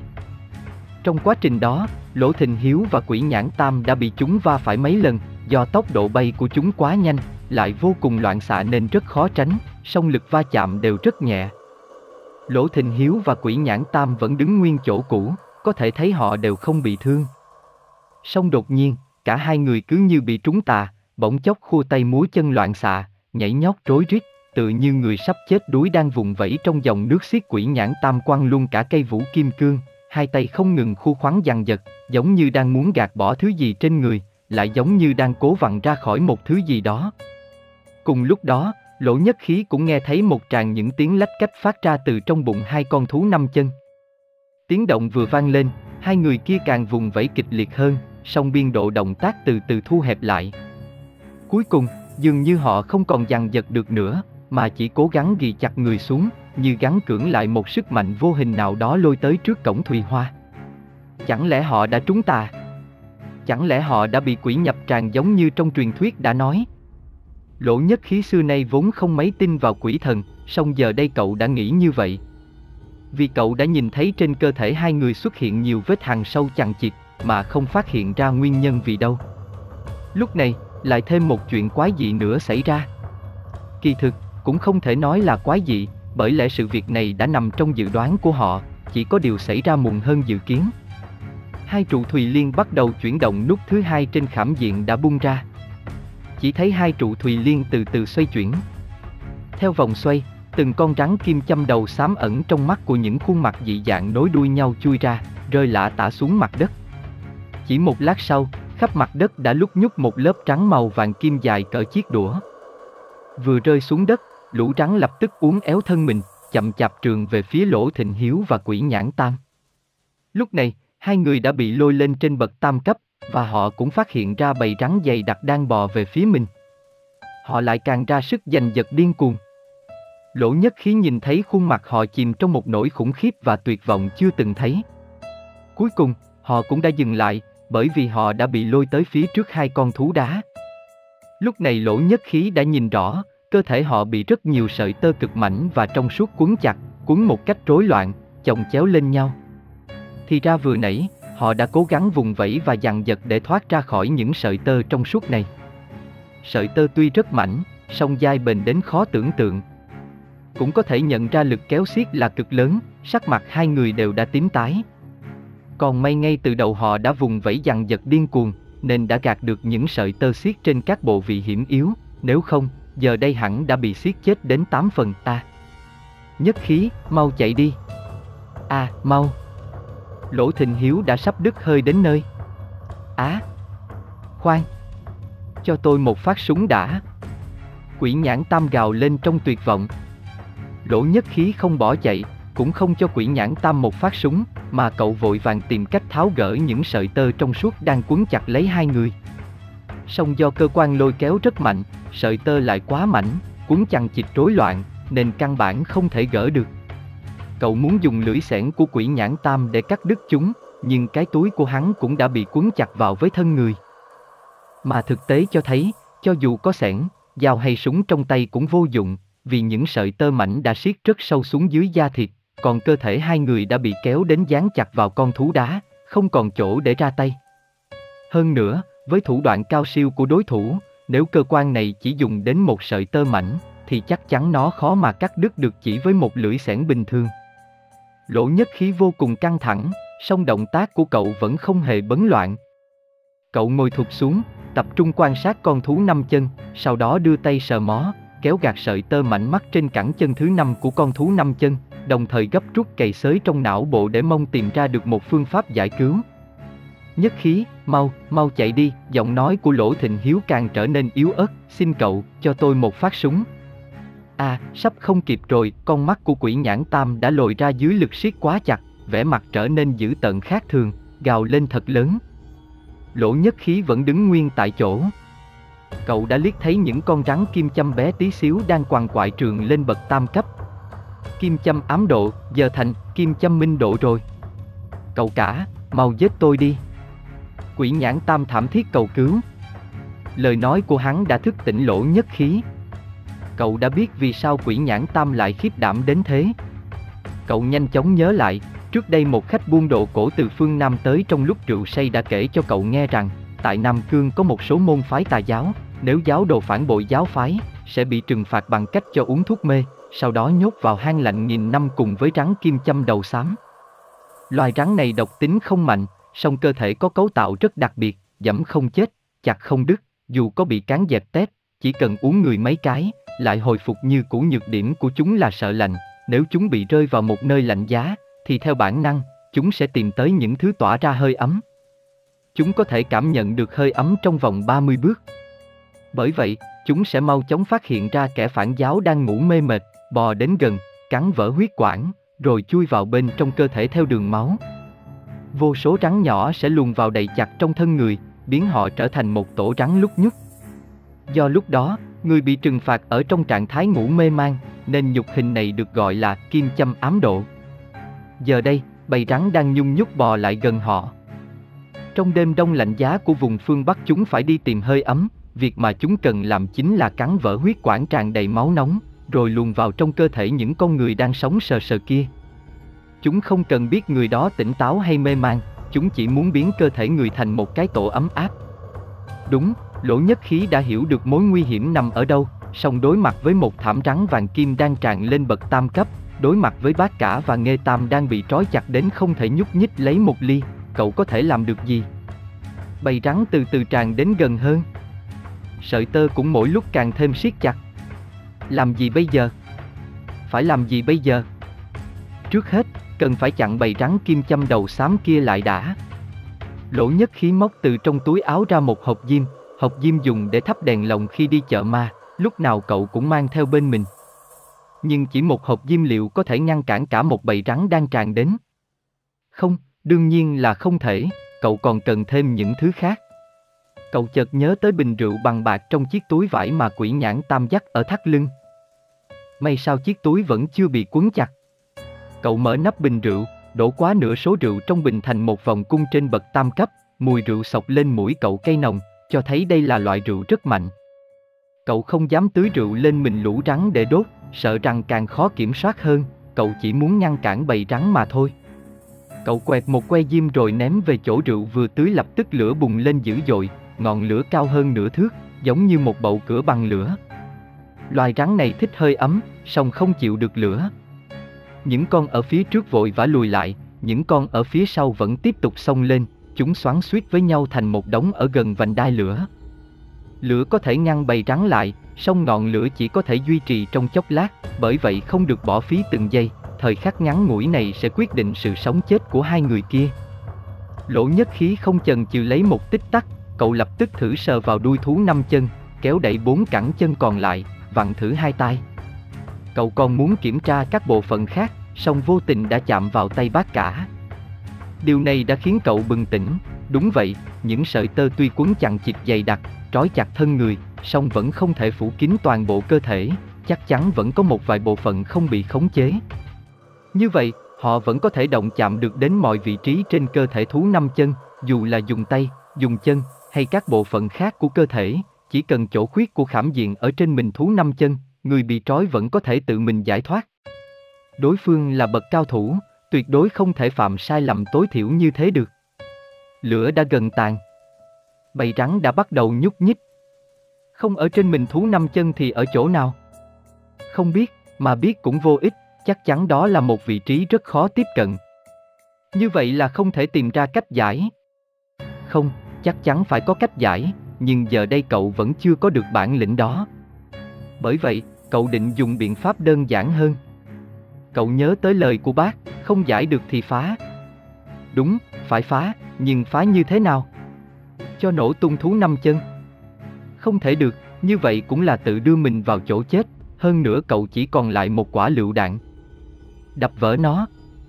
Càng không thể, làm gì có dụng cụ, hơn nữa con thú này được làm bằng đá hoa cương cứng trắng khác thường, khó mà đập vỡ. Lửa đã tắt hẳn, bầy rắn lúc nhúc tràn qua vệt cháy, nhưng do bậc thềm vừa bị thiêu đốt, bầy rắn còn lưu luyến chút hơi ấm còn sót lại, nên dựng lại một chút. Nhìn những bậc tam cấp đã gần như bị phủ kín bởi một lớp trắng vàng, lỗ nhất khí chợt lóe lên một suy nghĩ, tại sao mình lại cứ quẩn quanh mãi với con thú đá này kia chứ? Lúc nãy vì quỷ nhãn tam dẫm lên bậc thềm nên đã khởi động cơ quan. Khi nút động, âm thanh đầu tiên đã phát ra từ cá âm dương thái cực phía trên. Đúng rồi, cá âm dương nhất định là điểm mấu chốt, cho dù không phải là tổng huyền. Cũng là một cái nút, cứ phá đi đã rồi tính tiếp lỗ nhất khí còn nhớ vị trí của cá âm dương. Rất đơn giản, cá âm dương được khảm ở chính giữa tấm ván dày phía trên, song nó nằm ở chính giữa của mặt ván hướng ra phía ngoài, mà giờ đây, từ chỗ cậu đứng chỉ nhìn thấy mặt sau của tấm ván. Chỉ còn cách bắn thủng tấm ván khiến viên đạn bay xuyên qua phá vỡ cá âm dương ở phía trước. Bầy rắn đã phủ kín toàn bộ bậc tam cấp, có một bộ phận đã bò qua vệt cháy. Hơi ấm ở đó đã tản hết, chúng bắt đầu tìm tới nơi khác ấm áp hơn, đó chính là ba cơ thể sống kia. Lỗ nhất khí cảm nhận được rằng, để bắn thủng tấm ván dày nhường kia, chỉ ít phải cần tới hai viên đạn. Tình thế trước mắt đã quá cấp bách, không cho phép cậu suy nghĩ gì thêm. Cậu vung tay dương súng, bắn liền ba phát đạn. Cậu bắn thêm phát thứ ba là để thêm phần chắc chắn, hy vọng chiêu này có thể thành công. Ba tiếng nổ như nối liền làm một, ba viên đạn nối tiếp nhau bay vụt về điểm chính giữa tấm ván lỗ nhất khí rất tự tin, cậu đảm bảo ba viên đạn đó sẽ cùng xuyên qua một vị trí. Công, một tiếng vang ngân dài chói tai lỗ nhất khí giật nảy mình trước âm thanh bất ngờ này, theo bản năng cậu nghiêng đầu sang bên, vung cánh tay lên chắn trước mặt. Khi hạ cánh tay xuống, cậu không tin nổi vào mắt mình, trên tấm ván chỉ có một vết lõm hình tròn màu trắng. Đó không phải là tấm ván gỗ, mà là một tấm thép. Giờ đây, không chỉ hai người bị trói tuyệt vọng hoàn toàn, mà ngay lỗ nhất khí cũng đã nghĩ đến chuyện buông xuôi. Xem ra đã đến lúc cậu phải bất chấp tính mạng, cho dù có bị bầy rắn kia chui vào cơ thể cũng phải cứu cho bằng được bác cả và nghe tam. Bầy rắn vẫn đang trường lên, gấp rút hơn, chỉ còn cách ba người hơn một thước. Lỗ thịnh hiếu lúc này đã bị siết chặt đến không thể nói được câu nào, miệng ông miếm chặt, hai mắt nhắm nghiền quỷ nhãn tam trận trừng con mắt duy nhất nhìn bầy rắn đang từ từ áp sát, cũng miếm chặt miệng không thốt nổi một lời, do đã khiếp hãi đến cùng cực. Lỗ nhất khí cũng không nói câu nào, cậu miếm chặt môi, mắt nheo lại như sợi chỉ, cậu đang ngắm, đúng hơn là đang cảm giác. Trong trí não cậu, tấm thép đang tiến lại, tiến lại rất gần. Khoảng cách đã có thể tính bằng milim. Trong óc cậu đã hiện ra một góc độ, một sự chuyển ngoặt. Bầy rắn chỉ còn cách bàn chân chưa đầy một thước. Lỗ nhất khí vung mạnh tay trái, một mảnh màu trắng bạc bay vụt ra, xoay tít, lao tới bên dưới điểm chính giữa mép dưới của tấm thép. Khi đống bạc bay được quá nửa quãng đường, súng lại nổ, một viên đạn vụt ra, rượt theo đống bạc, vừa đúng lúc qua mép dưới của tấm thép thì đuổi kịp. Chỉ nghe ken một tiếng ngắn, dưới sức bắn của viên đạn, đống bạc không biết đã văng đi tận đâu. Còn viên đạn sau khi đập vào đống bạc đã chuyển hướng, bay thẳng về phía cá âm dương. Cá âm dương có lẽ rất giòn, vừa bị viên đạn bắn vào đã vỡ rơi lạ tạ xuống dưới. Lúc này đống bạc mới rơi xuống đất ở một chỗ nào đó tiếp phía xa. Kêu lên len ken. Hóa ra là một đồng xu bằng bạc quăng đồng xu, bắn đạn đuổi, mượn góc độ, đổi phương hướng, một chiêu bắn vỡ cá thái cực. Tất cả diễn ra như một màn ảo thuật. Nhưng Lỗ Thịnh Hiếu không nhìn thấy, ông vẫn đang nhắm nghiền hai mắt, không rõ ý thức có còn tỉnh táo. Còn quỷ nhãn tam đã chứng kiến toàn bộ, mắt hắn mở trừng, miệng há hốc, nhất thời quên bẵng cả sự uy hiếp từ bầy rắn. Đúng là một phát súng ngoài sức tưởng tượng. Trong mắt hắn, lỗ nhất khí đúng là một vị thần tưng, âm thanh này, cả ba người đều nghe thấy. Lỗ Thịnh Hiếu và Quỷ Nhãn Tam càng cảm nhận rõ ràng hơn, vì liền sau đó, cơ thể họ đột ngột được nới lỏng, cơ quát trong bụng thú canh cửa không còn lôi kéo nữa. Song họ vẫn không thể thoát ra được. Cơ quan mới chỉ dừng hoạt động, nhưng không buông lỏng. Đây chính là sự khác biệt giữa giải và phá, giải được thì mọi nút đều thả lỏng, còn phá, chỉ có một vài nút thả lỏng. Bầy rắn đã tới sát sạc, chỉ còn cách một gang tay, trời ơi, sao hai người vẫn chưa cử động được. Những sợi tơ đó là thứ quái quỷ gì mà khó gỡ đến thế? Lỗ nhất khí căng thẳng vô cùng, tuy bề ngoài vẫn rất trấn tĩnh song mồ hôi đã bắt đầu túa ra. Cơ quát không hoạt động nữa, Lỗ Thịnh Hiếu đã có thể hít thở lấy hơi, ông đã mở được mắt, cũng đã nghe thấy tiếng nói của Lỗ Nhất Khí, ông lập tức nói vội, Thiên Hồ Giao Liên. Phải. Đây chính là Thiên Hồ Giao Liên. Chính là những sợi tơ mảnh và trong suốt. Lỗ Nhất Khí lập tức rút ra một mảnh khăn tay, vạch quần, tiểu tiện vào vuông vải. Bầy rắn đã ở sát bên chân, mà cậu vẫn ung dung đứng đó tiểu tiện, hẳn là trái tim cậu không phải làm bằng máu thịt, hoặc có lẽ cậu đã sợ đến mất kiểm soát. Đều không phải. Cậu đang cảm thấy rất nhẹ nhõm. Cậu đã có thể thở phào, bởi lẽ cậu biết chắc hai người kia đã được cứu thoát. Vì sao? Là vì cậu biết cách tháo gỡ thiên hồ giao liên. Cậu đi tiểu thật là thoải mái, đây là thời khắc thỏa mãn nhất kể từ khi cậu bước chân vào trạch viện. Đúng vậy, đó là vì cậu đã có đủ những thứ đang cần, trong đầu cậu quả thực đã có một tuyệt chiêu từ nghìn năm trong dị khai vật có chép, tại thiên hộ có con dao, sống đến trăm năm, đuôi rách sinh ra một vật, dài mà không đứt, bền dai như thép nên gọi là liên, xích. Trong gia giải tiên huyền ký, chương thứ nhất viết rằng, cá mập ở thiên hồ, sinh ra xích, quấn không lỏng, chỉ sợ nước tiểu người, quệt vào tất tự giải do nhiều tác giả biên soạn thành. Cuốn sách mô tả và giải thích về đặc trưng, lai lịch, địa bàn của các yêu quái, thần tiên trong truyền thuyết và các báu vật mà họ sở hữu, là một bộ sách tổng hợp các kiến thức về thần tiên, yêu quái có phạm vi bao quát rộng nhất cho đến ngày nay. Dưới ba triều nguyên, Minh, Thanh đã xuất hiện bản in.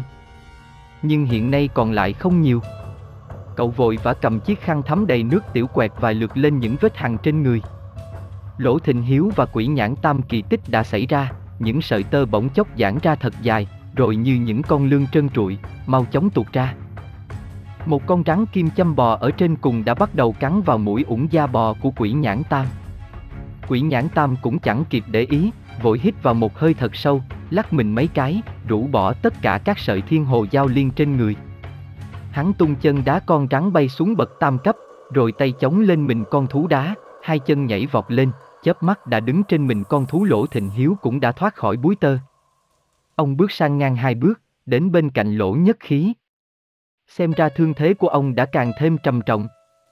Sau khi thoát thân, những tiếng hít thở của ông cũng trở nên yếu ớt và khó nhọc. Bầy rắn đã áp sát tới nơi, lỗ nhất khí định đẩy cánh cửa trên cổng Thùy Hoa để lùi vào chính viện. Nhưng bàn tay vươn ra còn chưa kịp chạm vào cánh cửa, đã bị bác cậu chụp lấy. Ông nhìn cậu với ánh mắt thất thần, không nói nên lời, chỉ lắc lắc đầu. Quỷ nhãn tam cũng nhận ra ý định của cậu, vội kêu lên, đừng mở sau cửa lại có hoạt khảm, trước sau kẹp lại, chúng ta sẽ hết đường. Bầy rắn đã sắp chạm tới mũi chân lỗ thịnh hiếu đột ngột hít mạnh vào một hơi, từ trong cổ họng phát ra một tràng lọc khọc, tự như bị đầm tắt. Sau vài tiếng nôn khan, thì quẹ ra một búng máu bầm tím đen, khiến cho đám rắn kim châm bên dưới cũng lập tức bị nhuộm màu đen thẫm. Búng máu bầm vừa nhổ ra, trong ông linh hoạt hẳn lên, ánh mắt thất thần chốc lát đã bừng bừng thần thái. Ông mau chóng rút từng ngăn kéo phía dưới đáy hầm gỗ ra một lưỡi rìu hình trăng khuyết cán công, rồi vung mạnh tay quăng về phía trụ Thùy Liên bên trái. Một vệt sáng trắng xẹt qua trụ Thùy Liên, sau đó xoay vòng theo hình cánh cung, trở về chỗ cũ. Lỗ Thịnh Hiếu giơ tay bắt lấy, rồi tiếp tục ly chiếc rìu về phía trụ Thùy Liên bên phải. Lại một luồng sáng bạc bay vụt qua trụ, rồi lượn vòng trở về tay Lỗ Thịnh Hiếu, nghe tam, giật nó xuống, để kim châm về tổ. Lỗ Thịnh Hiếu chưa nói dứt câu, quỷ nhãn tam đã hiểu ra một cú vung tay, chỉ nghe cách một tiếng, đã thấy thiên thần phi trảo quắp chặt lấy trụ Thùy Liên. Tiếp đó là tiếng răng rắc của gỗ bị giật gãy, một khúc trụ Thùy Liên đã bị quăng xuống giữa bầy rắn. Liền ngay sau đó trụ còn lại cũng văng xuống mặt đất. Cú đập thình lình khiến bầy rắn cuốn cùng bò loạn xạ, nhưng sau đó, chúng lập tức nhận ra, thứ vừa rơi xuống chính là nhà của chúng. Thế là chúng tranh nhau chui vào bên trong qua đôi mắt và những vết nứt vỡ trên khuôn mặt dị dạng. Chỉ một lát sau, hai chiếc trụ rỗng ruột đã lúc nhúc đầy những rắn quỷ nhãn tam thả lỏng hai chân, trượt theo thân thú năm chân xuống đất lỗ thịnh hiếu đã buông người ngồi phịch xuống từ lúc nãy. Lúc này, lỗ nhất khí là người trấn tĩnh và nhẹ nhõm nhất. Cậu đứng ở đó, lưng vương thẳng đứng, hơi thở điềm đạm đến kỳ lạ, trông như một ngọn núi hiên ngang. Nhưng cũng chỉ có mình cậu biết, hai lớp áo ngắn mặc trông đều đã ướt sũng. Những trải nghiệm kinh tâm động phách vừa qua dường như đã khơi dậy khí phách điên rồ trong cậu. Cậu móc đạn ra, hầm hầm tra từng viên vào ổ đạn, dáng điệu bừng lên một vẻ kích động quyết sống chết một phen với kẻ thù. Thế nhưng, một cảm giác hoang mang lại bùng lên trong tâm trí cậu, pha lẫn chút bất lực. Sống chết một phen. Với ai? Rút kiếm nhìn quanh, chỉ thấy trời cao đất thẳm. Cho tới lúc này, đến cái bóng của địch thủ còn chưa nhìn thấy, trong khi bọn họ vẫn đang phải liều mạng xông pha trong những bẫy sống, nút chết, trong hành lang Yến Quy lại hy sinh mất lão mù, còn bác cậu cũng bị thương đến hai lượt. Bốn bề lặng phát như tờ, chỉ nghe thấy tiếng rắn phun, phì phì trong hai trụ thùy liên. Lỗ nhất khí đang chờ đợi, chờ đợi bác và quỷ nhãn tam hồi phục. Cậu quay đầu nhìn bầy rắn, cảm thấy sự việc vừa xảy ra thật quái lạ. Cậu biết chiếc triều của bác cậu có thể bay vòng giống như loại ám khí hồi toàn tiêu trong giang hồ, cậu biết bác cậu đã dùng lưỡi rìu để chém một nhát trên trụ thùy liên, như vậy quỷ nhãn tam mới có thể giật gãy được chúng, chứng tỏ chất gỗ làm trụ vô cùng cứng rắn. Chương 14, Tam canh hàng Một làn gió bắc thổi qua, những mảnh áo rách bươm trên người lỗ thịnh hiếu và quỷ nhãn tam bay lên phần phật. Đó là những vết rách do bị thiên hồ giao liên cứ đứt, trông không khác gì vết dao cắt lỗ nhất khí cảm thấy toàn thân lạnh buốt, bởi vì lớp áo trong cùng của cậu đã ướt sũng, vì đêm đến canh ba buốt thấu xương, và còn bởi vì từ bên trong cánh cửa khép hờ sau lưng đang có một luồng khí lạnh lẽo sộc ra, xuyên thẳng vào trong cổ áo, luồn vào trong người, dán chặt lấy sống lưng cậu. Trong khoảnh khắc, khắp người cậu nổi gai ốc trùng trùng quỷ nhãn tam đã hồi phục hoàn toàn. Trang phục của hắn đa phần được làm từ da bò, rất dai và bệnh, nên thương tích cũng nhẹ hơn lỗ thịnh hiếu khá nhiều. Hắn thu thiên thần phi trảo lại, nhặt vũ kim cương lên. Hắn cúi nhặt bình rượu bằng bạc ở bên chân lỗ nhất khí, vừa ngẩng đầu lên, bỗng đập vào mắt hắn là rất nhiều đốm hàng quang lạnh lẽo đang lập lòe qua khe hở giữa hai cánh cửa. Lỗ nhất khí cũng đã nhìn thấy chúng. Vào lúc quỷ nhãn tam nhặt vũ kim cương lên, cậu đã nhìn thấy song cậu không lên tiếng, vì cậu còn chưa rõ đó là thứ gì, và bởi vì chúng còn cách họ khá xa, hơn nữa lại đứng im lìm bất động.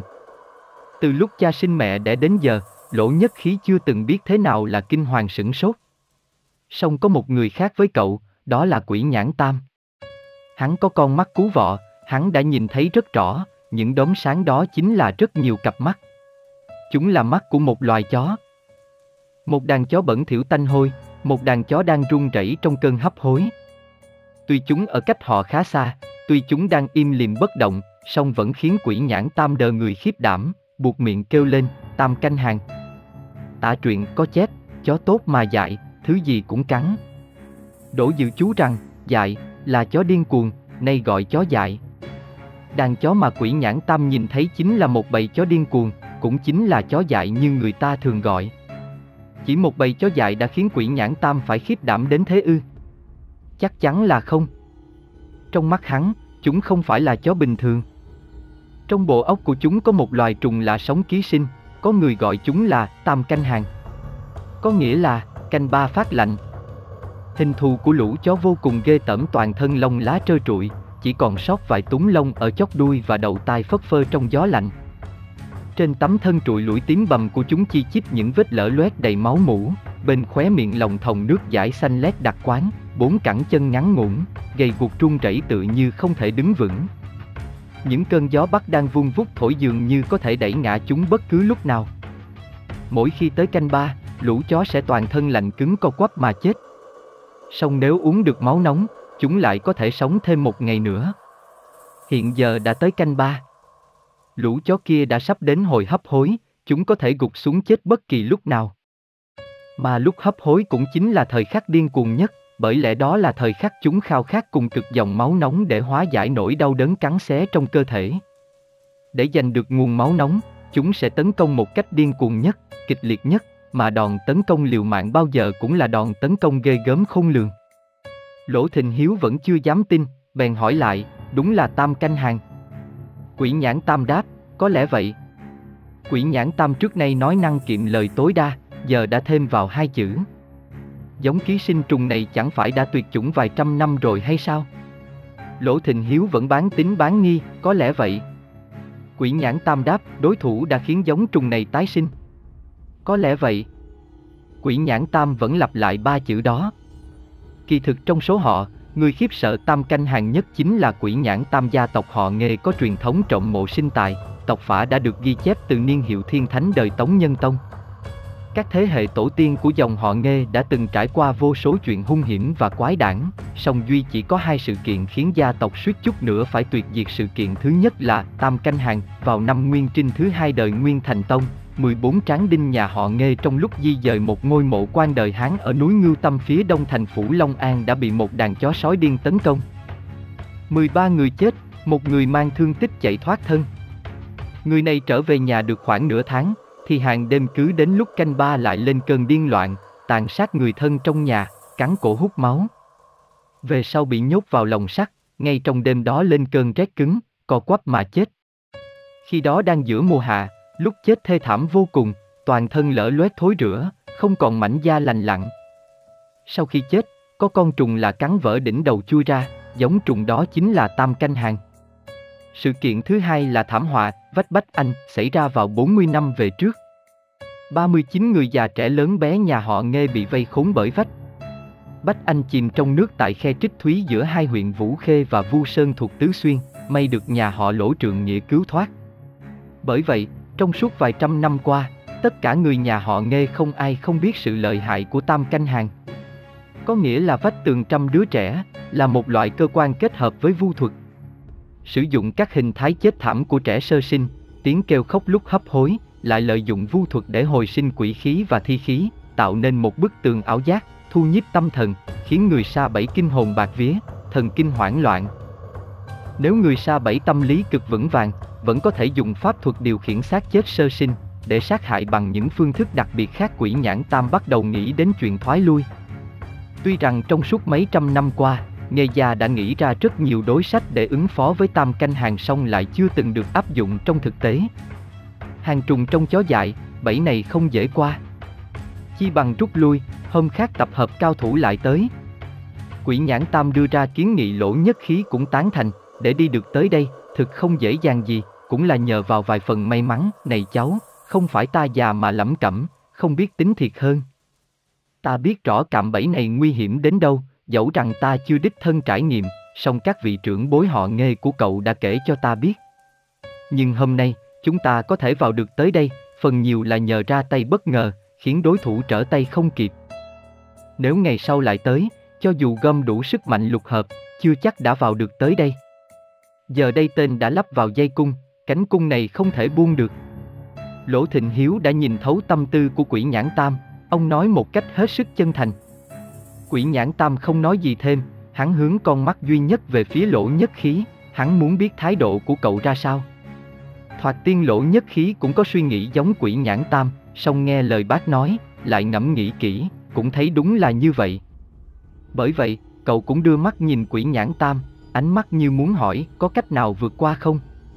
Ẩn ý trong ánh mắt của lỗ nhất khí, đối với quỷ nhãn tam chính là mệnh lệnh, và cũng là niềm tin. Hắn mở nút bình rượu, cẩn thận nhấp lấy hai ngụm từ chút rượu còn sót lại trong bình. Rồi lại cất đi. Sau đó, hắn bật vũ kim cương, mở chiếc túi da nhỏ buộc trên tấm áo chẽn da bò nhón ra một nhúm chu sa, vẽ lên trên tán dù một ký hiệu lớn có hình ngọn lửa. Đây là phương pháp mà một vị đạo trưởng Mao Sơn đã truyền dạy cho gia tộc của hắn. Theo vị đạo trưởng này, tam canh hàng chính là một giống sâu cực hàng chuyên ăn xác, buồn ngọn lửa tuy không rõ có phá được nó hay không, song chí ít cũng có thể bảo vệ được bản thân mình. Nguyên văn, hàng cực thi mông, là một loại côn trùng rất thích hàng khí từ xác chết, nó có thể hút hàng khí trên xác chết tụ lại tại một điểm, bởi vậy có hiện tượng những bộ phận khác của thi thể vẫn còn ấm, duy chỉ có vị trí này là đông kết thành băng. Tuyệt đối không được để con trùng đã hút được hàng khí của thi thể xâm nhập vào cơ thể người sống, nếu không, nó sẽ nhả hàng khí ra, làm đông cứng tâm mạch của người sống. Vẽ xong bùa, hắn lại rút ra một tờ giấy bồi vàng từ thắt lưng, dùng số chu sa còn sót trong tay ra một đạo chú độ hồn. Sau đó lại lấy từ một túi da nhỏ khác một chút bột hương rắc lên trên, thứ bột hương này chính là bột hương. Thiên Phật chính cống của chùa Đa Giác. Hắn cuộn chặt tờ giấy có chứa bột hương thành một que đóm, rồi dùng mồi lửa mang theo châm đốt. Bởi lẽ trong giang hồ có truyền thuyết cho rằng tam canh hàng là do một đống linh quan duy nhất còn sót lại của những oan hồn chết cống hóa thành. Nếu dâng cho chúng một nén hương siêu độ linh hồn, có thể giữ yên chúng chừng một giờ ba khắc. Đây là chiêu thứ hai của quỷ nhãn tam. Chiêu vạn bất đắc dĩ, không giết hại chó điên. Đây là chiêu thứ ba của quỷ nhãn tam, cũng chính là một lời cảnh báo dành cho lỗ nhất khí và lỗ thịnh hiếu. Chó không chết, trùng sẽ không ra. Năm xưa, vị tổ tiên kia của họ nghe đã dùng sẻn lưỡi cày bổ chết hai con sói điên nên mới bị hàng trùng chui vào người mà lên cơn cuồng dại. Chuẩn bị xong mọi thứ, quỷ nhãn tam vẫn chưa vội xông vào trong, mà móc ra một chiếc hộp nhỏ từ túi đeo sau lưng, là chiếc hộp được làm từ loại ngọc ấm vân lửa nghìn năm. Hắn ấn chiếc hộp vào tay lỗ nhất khí, nói, nếu thực sự hết cách, hãy mở nó ra. Chưa cầm đến hộp ngọc, lỗ nhất khí đã biết đó là bảo bối. Chiếc hộp khí sắc linh động, bóng bẩy như ráng mây, có điều dường như bị thứ gì khống chế, khí tuy thịnh song thu nhiếp mà không phát tán mọi việc đã xong xuôi, quỷ nhãn tam lại nhìn lỗ nhất khí. Hắn đang chờ đợi quyết định của cậu, chỉ cần cậu đưa ra một ánh mắt ngụ ý tiến lên, hoặc gật đầu một cái, hắn sẽ xông vào phía trong ngay lập tức. Nhưng lúc này, lỗ nhất khí lại đang chú tâm đến người bác lỗ thịnh hiếu được lỗ nhất khí đỡ lên, ông đứng dậy rất khó nhọc, có vẻ vẫn chưa hồi phục hoàn toàn. Nhưng ông cần phải đứng dậy, bởi thời gian không còn nhiều. Nếu trước khi trời sáng, họ vẫn chưa ra được khỏi trạch viện, quân tiếp viện của đối thủ kịp kéo tới. Họ sẽ khó mà thoát thân. Sau khi đứng dậy, Lỗ Thịnh Hiếu dừng lại một hồi trước cánh cửa, nhìn trân trân vào những đốm sáng trước mặt, lẩm bẩm trong miệng, kỳ lạ, thật kỳ lạ. Rồi gọi, nghe tam, cậu thử nhìn kỹ xem, tại sao lũ quái vật kia lại không hề động đậy, liệu có phải là đồ giả để dọa chúng ta không? Tới nước này rồi mà Lỗ Thinh Hiếu vẫn cố nuôi hy vọng. Nhưng lời nói của ông cũng đã thức tỉnh quỷ nhãn tam, đúng là lũ chó từ nãy tới giờ vẫn không nhúc nhích dù chỉ một ly. Tuy chúng vẫn run lẩy bẩy trong gió đông lạnh buốt, song vẫn giữ nguyên tư thế ban đầu, không hề xê dịch quỷ nhãn tam bóp cầm suy nhất thời cũng không hiểu ra sao, tốt nhất cứ thử xem sao. Quỷ nhãn tam bừa ra một cách. Được, vậy thì thử xem. Lỗ Thịnh Hiếu nói đoạn, rút ra một mũi dùi xuyên tường và một móc câu hoạt thiệt ông ngồi xuống phía trước thú năm chân, bắt đầu bận rộn thao tác. Ông đang tháo gỡ thiên hồ giao liên và cẳng chân thứ năm của thú năm chân. Một loại kim, phần đầu uốn cong như móc câu, phần đuôi có lắp một chiếc gai ngắn có thể xoay chuyển lên xuống. Loại kim này có thể găm móc, có thể xoay tròn, chiếc gai ngắn có thể khớp lại với móc câu, có thể cuốn giữ dây, cũng có thể ghim vào để cố định những thứ đã móc được vào một vị trí nào đó. Ông cuốn hai sợi thiên hồ giao liên thành hai cuộn rồi đưa cho quỷ nhãn tam và lỗ nhất khí mỗi người một cuộn, nói, cầm lấy. Chỉ cần hôm nay giữ được mạng trở ra, sau này chắc chắn sẽ dùng đến. Ông lại nhấc hai cẳng chân thú lên. Hai cẳng chân này khác hẳn với con thú đá, chúng không phải được làm bằng đá hoa cương, mà trông tròn xoe như quả bóng, lại tua tủa lông tơ. Song chúng được chế tác rất khéo léo, từ màu sắc đến hình dạng, đều giống hệt như một cẳng chân làm từ đá hoa cương lỗ thịnh hiếu thấy rõ vẻ hiếu kỳ của lỗ nhất khí, bèn chủ động giải thích, cái này gọi là hồi chuyển lưu tinh, vốn dĩ không phải là thứ gì tinh xảo, chỉ là thứ đạo cụ vặt vảnh trong mấy gánh xiết dạo. Song trong mấy năm qua, đối phương đã thêm thắt cải tiến, khiến cho nó không có phương hướng và góc độ chuyển động cố định, lại thêm nút khởi động quá bất ngờ, ngay cả cao thủ võ thuật cũng rất khó tránh. Phía sau nó lại mang theo thiên hồ giao liên mảnh như sợi tóc, liên tục bay rối loạn vòng quanh, dễ dàng trói chặt người ta lại. Có nghĩa là, sao băng xoay tròn. Lỗ Thịnh Hiếu vừa nói vừa xoay vặn các ngón chân thú. Mỗi ngón chân ông đều xoay chí ít 10 vòng để lên đủ dây cót cho hai chiếc hồi chuyển lưu tinh, sau đó ông ném chúng qua khe cửa khép hờ vào bên trong trạch viện hai cẳng chân lập tức nhảy nhót điên cuồng, và đập loạn xạ. Một hồi sau, khi dây cót đã buông hết, chúng mới rơi xuống lăn lông lốc trên mặt đất. Bị hai cẳng chân quăng ném va đập kịch liệt liên hồi, nhưng đàn chó điên vẫn im lìm bất động quỷ nhãn tam bắt đầu tin vào sự phán đoán của Lỗ Thịnh Hiếu. Nếu quả thực chúng là chó dại, đừng nói đợi đến lúc bị tấn công và chọc phá, cho dù không làm gì chúng, chỉ cần ba cơ thể sống tràn đầy máu nóng kia xuất hiện trước mặt, chúng sẽ lao đến cắn xé từ lâu rồi. Nếu như là đội lốt khảm sống, cách dùng từ của lỗ nhất khí vẫn thường pha lẫn một vài thuật ngữ của nghề đồ cổ vậy mục đích của họ là gì? Có lẽ có hai mục đích, thứ nhất là để hù dọa để chúng ta rút lui, thứ hai là đánh lạc hướng chú ý, khiến chúng ta lơ là một thứ gì đó. Còn nếu đây là cạm bẫy thực, thì mục đích là gì? Cũng sẽ có hai mục đích, thứ nhất là khiến chúng ta không chú ý đến một vài thứ gì đó, thứ hai là để chúng ta mất cảnh giác trước khảm sống này. Bởi vậy, cho dù khảm diện này là thật hay giả, hẳn là vẫn còn có một cơ quan kín đáo nào khác nữa. Tim lỗ thình hiếu bỗng nảy lên một nhịp, ông như đã bừng tỉnh, tại sao hai cánh cửa lại không đóng? Đã không đóng, tại sao lại không mở hẳn mà chỉ khép hờ?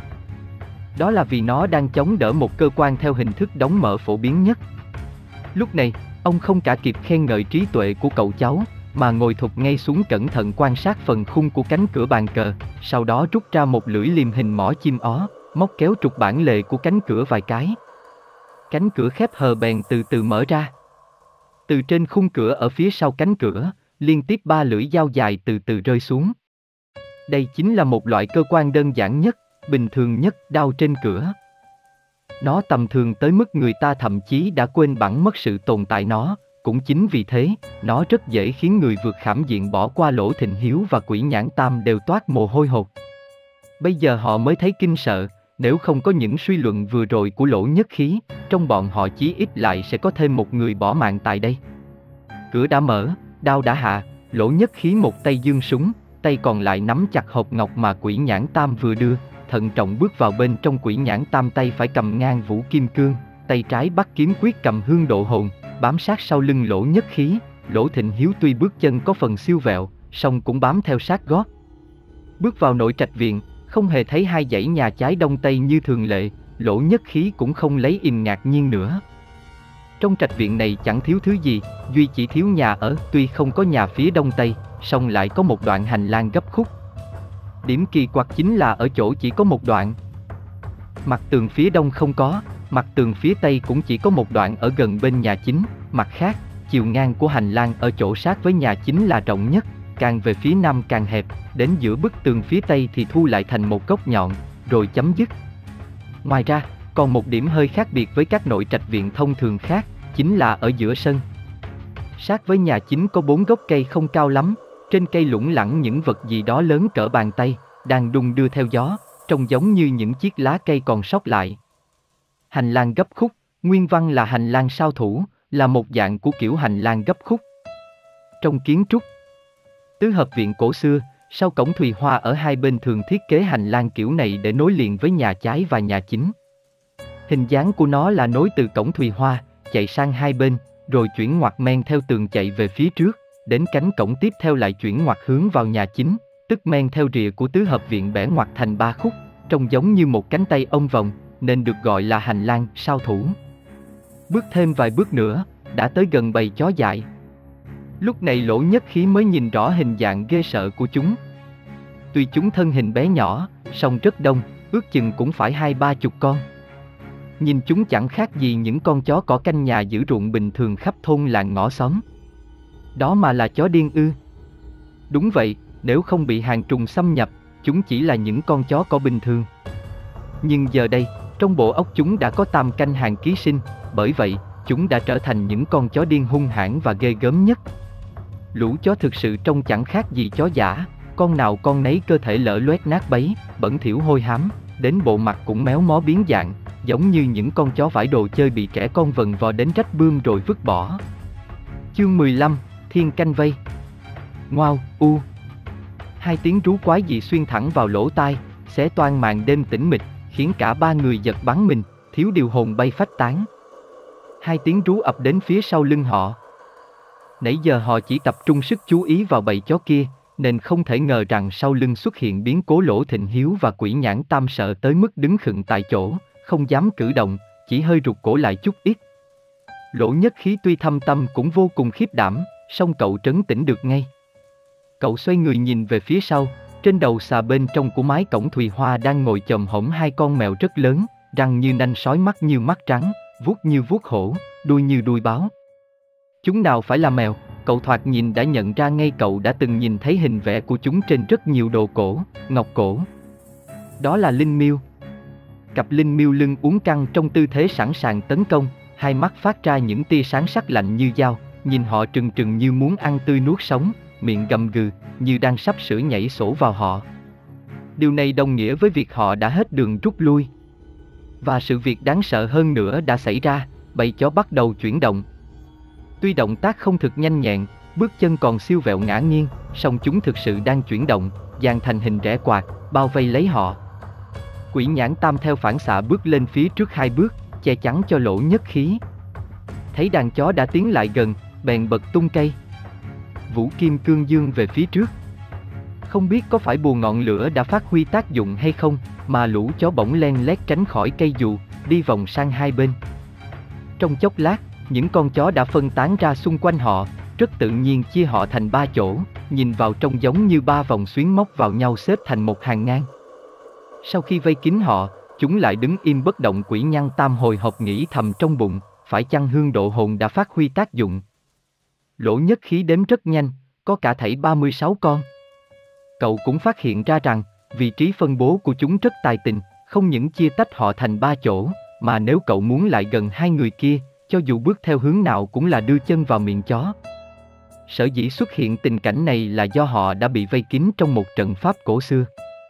Thiên canh trận 36 con chó dại đã tạo thành ba vòng tròn thiên canh để phân tách và bao vây họ. Nhật Nguyệt Thiên canh trận Cộng thêm cặp linh miêu tạo thành Nhật Nguyệt Tuần Thiên canh, chuyên phụ trách đột kích và chặn đường. Cách sắp xếp của bầy chó là phân tách bao vây, đồng thời cũng là hợp sức bao vây. Dù đột phá vòng vây từ hướng nào, đều sẽ có chí ít hai con chó chặn lại giáp công. Cho dù người bị vây khốn trong trận pháp biết thi triển thuật khinh công để vượt qua, thì khi đáp xuống đất vẫn sẽ bị chí ít bốn con chó điên bao vây trở lại, tiếp tục thực hiện đợt bao vây tấn công mới. Động tác của người bị bao vây càng nhanh thì trận pháp biến hóa cũng càng nhanh, toàn bộ trận đồ đều chuyển động, cả đàn chó sẽ ào đến lớp lớp như sóng biển, luân phiên cắn xé. Tới lúc đó, người bị bao vây sẽ có cảm giác như bị vô số con chó dại đồng loạt tấn công. Thiên canh trận vốn dĩ được sử dụng trên chiến trường, song hiệu quả không mấy lý tưởng, bởi vì khi tấn công, tốc độ của quân lính dàn trận không thể đạt yêu cầu, nên chỉ thực hiện được hai lần tấn công, cho dù là quân khinh kỵ được rèn luyện tinh nhuệ, tối đa cũng chỉ thực hiện được bốn lần tấn công, về sau, nó đã được người trong giới võ lâm vận dụng, mang lại hiệu quả tuyệt hảo. Mỗi người trong trận chỉ cần kiểm soát tốt nhịp điệu và tốc độ, sau một đòn tấn công, sẽ có người sau thay thế, người này lui ra có thể ung dung tạm nghỉ lấy sức, rồi chuyển sang một góc độ khác để tấn công đối phương, hoặc chuyển hướng tấn công mục tiêu khác. Khi vận dụng, biến hóa linh hoạt vô cùng, có thể tấn công từng đợt luân phiên, khiến lực tấn công gia tăng gấp bội, Giờ đây, cả ba người đã bị vây khốn trong một trận pháp như vậy, họ có biết không? Không. Họ chưa từng tiếp xúc hay tìm hiểu về thể loại khảm sống này, trong lĩnh vực này, họ hoàn toàn mù tịt. Hơn nữa, thiên canh trận là một thủ pháp bại binh bố trận thuần túy. Không thuộc về tiên thủ cục và hậu thủ cục của kỳ môn động giáp, trong lục hợp chi lực của lỗ gia cũng không hề có kỹ pháp nào có liên quan tới trận pháp, nên họ lại càng không hiểu. Bởi vậy, họ đang thắc mắc, tại sao vị trí sắp xếp của bầy chó lại khiến họ không còn chút không gian để xoay chuyển. Họ đang kinh ngạc, không hiểu tại sao bầy chó dại lại được huấn luyện một cách quy củ đến vậy. Họ đang sợ hãi, không hiểu bầy chó dại khi nào sẽ nhảy sổ vào họ cắn xé, hút máu. Tiên thủ cục, tức 180 cách cục do phong hậu, tể tướng của hoàng đế, sáng tạo ra. Hậu thủ cục, tức 72 cách cục do Khương Tử Nha dung hợp và sửa đổi các cách cục trước đó mà sáng tạo ra. Họ đứng bất động, bởi lẽ họ không biết phải hành động thế nào, bởi lẽ họ không có cơ hội cử động, bởi lẽ họ không dám cử động. Bầy chó cũng bất động, y hệt như lúc nãy, dường như chúng đang chờ đợi điều gì, dường như chúng không quá cấp bách cần đến máu nóng. Tuy rằng trong chúng thật ghê tởm, bẩn thỉu, bệnh hoạn, song dường như chúng không điên dại như trong truyền thuyết, cũng chưa có vẻ gì là dữ tợn, mà trái lại, trong chúng rất mực đờ đẫn yếu ớt. Lẽ nào lũ chó dại đã được uống no máu nóng, hay là chúng đang chuẩn bị biến cả ba người thành bữa lót dạ tiếp theo? Không, không phải chúng đã được ăn no, mà là chúng vẫn chưa đói khát đến cực điểm. Cũng có nghĩa là hàng độc trong cơ thể chúng vẫn chưa phát tác, tam canh hàng trong ốc chúng vẫn đang ngủ vùi chưa tỉnh. Quả nhiên, canh ba vừa điểm, bầy chó liền bắt đầu cử động. Trước hết là những cơn rùng mình, lẫy bẫy, rồi đến lắc đầu đập đuôi loạn xạ cuối cùng, chúng bắt đầu bước đi, từng bước chệnh choạng, khó nhọc, mỗi động tác nhấc chân, đặt chân đều có chút gì đờ đẫn. Con chó cử động đầu tiên là một trong số những con bao vây lỗ thịnh hiếu nó bước đi siêu vẹo, từ từ áp sát lỗ thịnh hiếu. Có lẽ là do lỗ thịnh hiếu vừa thổ huyết nên mùi máu tanh trên người ông đã hấp dẫn nó. Tuy nó bước đi rất chậm, song cũng chỉ còn cách lỗ thịnh hiếu chừng ba, bốn bước. Lúc này, con chó thứ hai cũng bắt đầu chuyển động, vẫn là một trong những con bao vây lỗ thịnh hiếu. Giữa nó và con chó chuyển động đầu tiên còn ba con chó khác. Con chó này mới bước được một bước, sắp sửa cất bước thứ hai thì đến lượt con chó thứ ba chuyển động. Lần này, là một trong những con chó đang bao vây lỗ nhất khí, giữa nó và con chó thứ hai cũng có ba con chó khác. Con chó này bước đi còn khó nhọc hơn, vừa bước được một bước, đã rướng cổ nôn ra một bãi lớn nhầy nhụa màu vàng xanh, bốc mùi tanh lợm giọng, bốn chân rung bần bật, lão đảo suýt ngã. Ngao. Con linh miêu lại bật ra một tiếng kêu rợn gáy. Tiếng kêu vừa vang lên, con chó thứ ba bắt đầu tấn công. Đúng vậy, chính là con chó thứ ba, con chó đến đứng còn không vững, mà giờ bốn chân nhún mạnh, lao lên há mỏm nhắm vào cổ họng lỗ nhất khí cắn tới.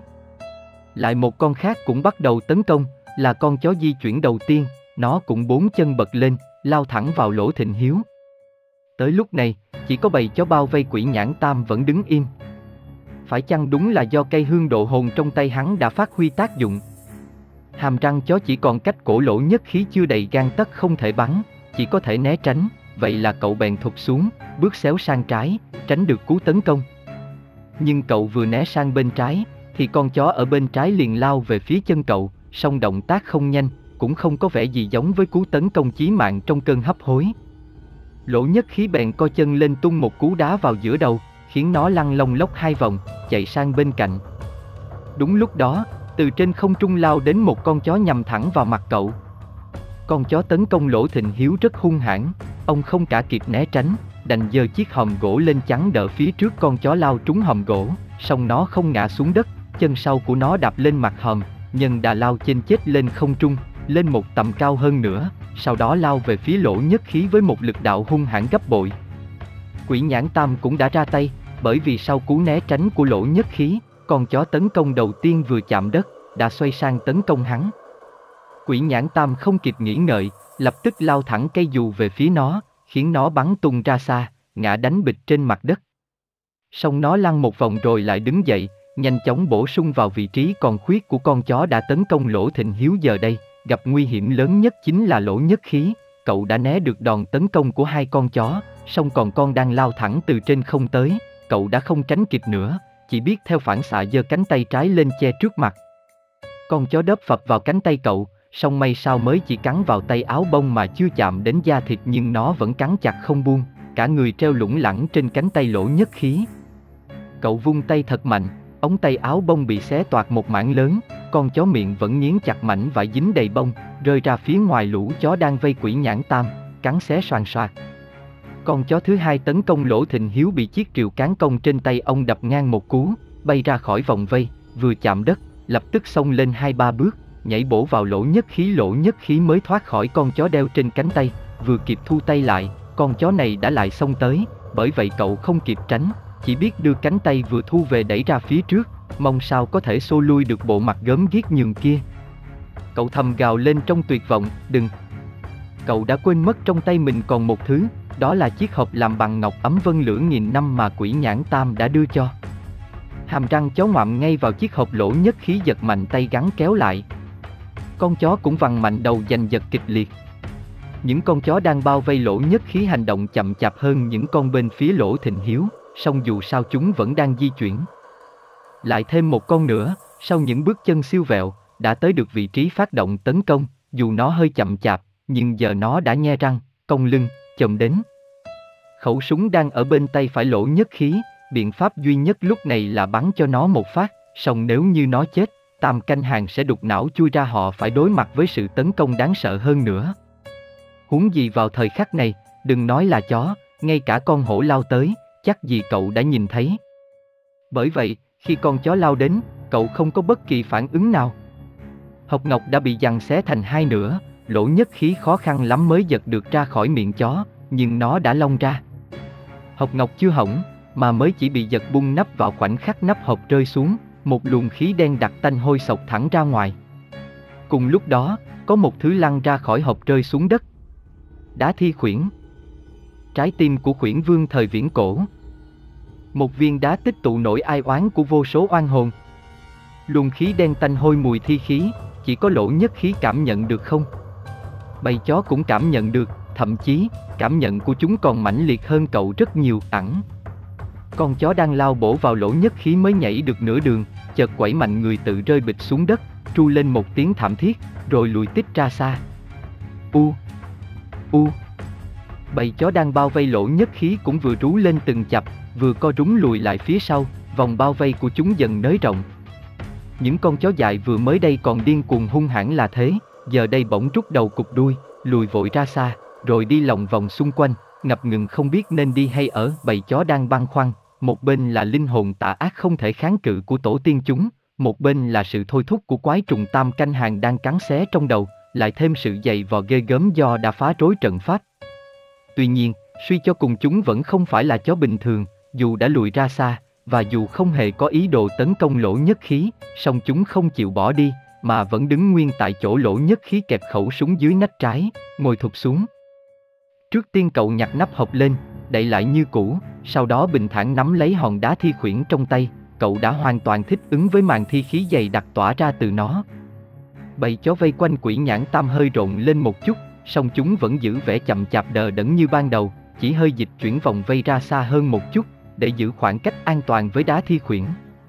Con chó đang cắn xé mảnh tay áo của lỗ nhất khí ở bên ngoài vòng vây cũng tẳng lên một tiếng, bỏ chạy ra xa.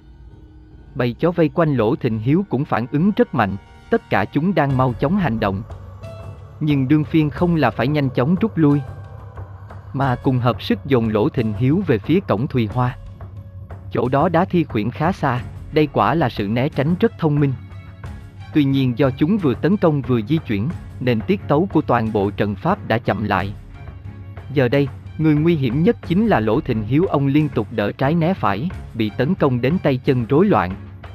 Kỳ thực, trong thiên canh trận, 36 canh cùng phát động, vòng này lồng vào vòng khác, đợt này nối tiếp đợt khác, chưa tới 3-4 hiệp, cả ba người chắc chắn đã thương tích đầy mình. Nhưng hôm nay, vòng thứ ba vây quỷ nhãn tam lại không hoạt động, bởi vậy toàn bộ trận pháp đã không chuyển động được. Giờ đây vòng vây quanh lỗ nhất khí cũng đã dừng lại, chỉ còn vòng vây quanh lỗ thịnh hiếu là động, bởi vậy lực tấn công đã yếu đi đáng kể, càng không thể tăng cường được sức mạnh của trận pháp. Lỗ nhất khí bỏ hộp ngọc vào trong túi áo, sau đó tay trái cầm viên đá thi khuyển, tay phải cầm súng, bước một bước về phía lỗ thịnh hiếu ý định của cậu là mau chóng tiến sát tới bên bác, sau đó ba người tụ lại một chỗ, lợi dụng viên đá thi khuyển để thoát khỏi khảm diện này lỗ nhất khí vừa bước được một bước, thì phía lỗ thịnh hiếu đã xảy ra biến động. Hai tiếng kêu kỳ quái lại cất lên từ sóng nóc phía sau cổng Thùy Hoa, liền sau đó hai con linh miêu đồng loạt tấn công Nhật Nguyệt tuần thiên canh, vốn dĩ phải là Nhật Nguyệt đang xen, một con phụ trách chặn đường, một con phụ trách đột kích. Song giờ đây, thiên canh chưa chuyển động, hơn nữa trong mắt chúng, mục tiêu chỉ có một, bởi vậy Nhật Nguyệt đang xen đã trở thành Nhật Nguyệt cùng sáng. Hai con linh miêu cùng nhảy bật ra, lao bổ về phía lỗ thịnh hiếu khác nào chim ưng vụt xuống vồ mồi lỗ thịnh hiếu đã không còn tay nào rảnh rỗi để đối phó với đợt tấn công bất thình lình từ trên không lỗ nhất khí lập tức nổ súng. Cậu biết, không được phép bắn chó, song trong cơ thể linh miêu không có hàng trùng, có thể giết được. Hơn nữa, trong lúc cấp bách này, cho dù thứ tấn công có là chó dại, cậu vẫn phải bóp cò mà không hề do dự. Cậu còn tâm trí đâu mà quan tâm đến tam canh hàng, trước mắt cứu người là trên hết. Tuy rằng thế tấn công của hai con linh miêu nhanh như chớp xẹt, song trong cảm giác của lỗ nhất khí, chúng đang chuyển động rất chậm rãi. Tuy chúng vẫn cách cậu vài bước chân, song dường như đang ở sát bên tay. Súng nổ, bốn viên đạn lao thẳng vào đỉnh đầu và cột sống của hai con linh miêu.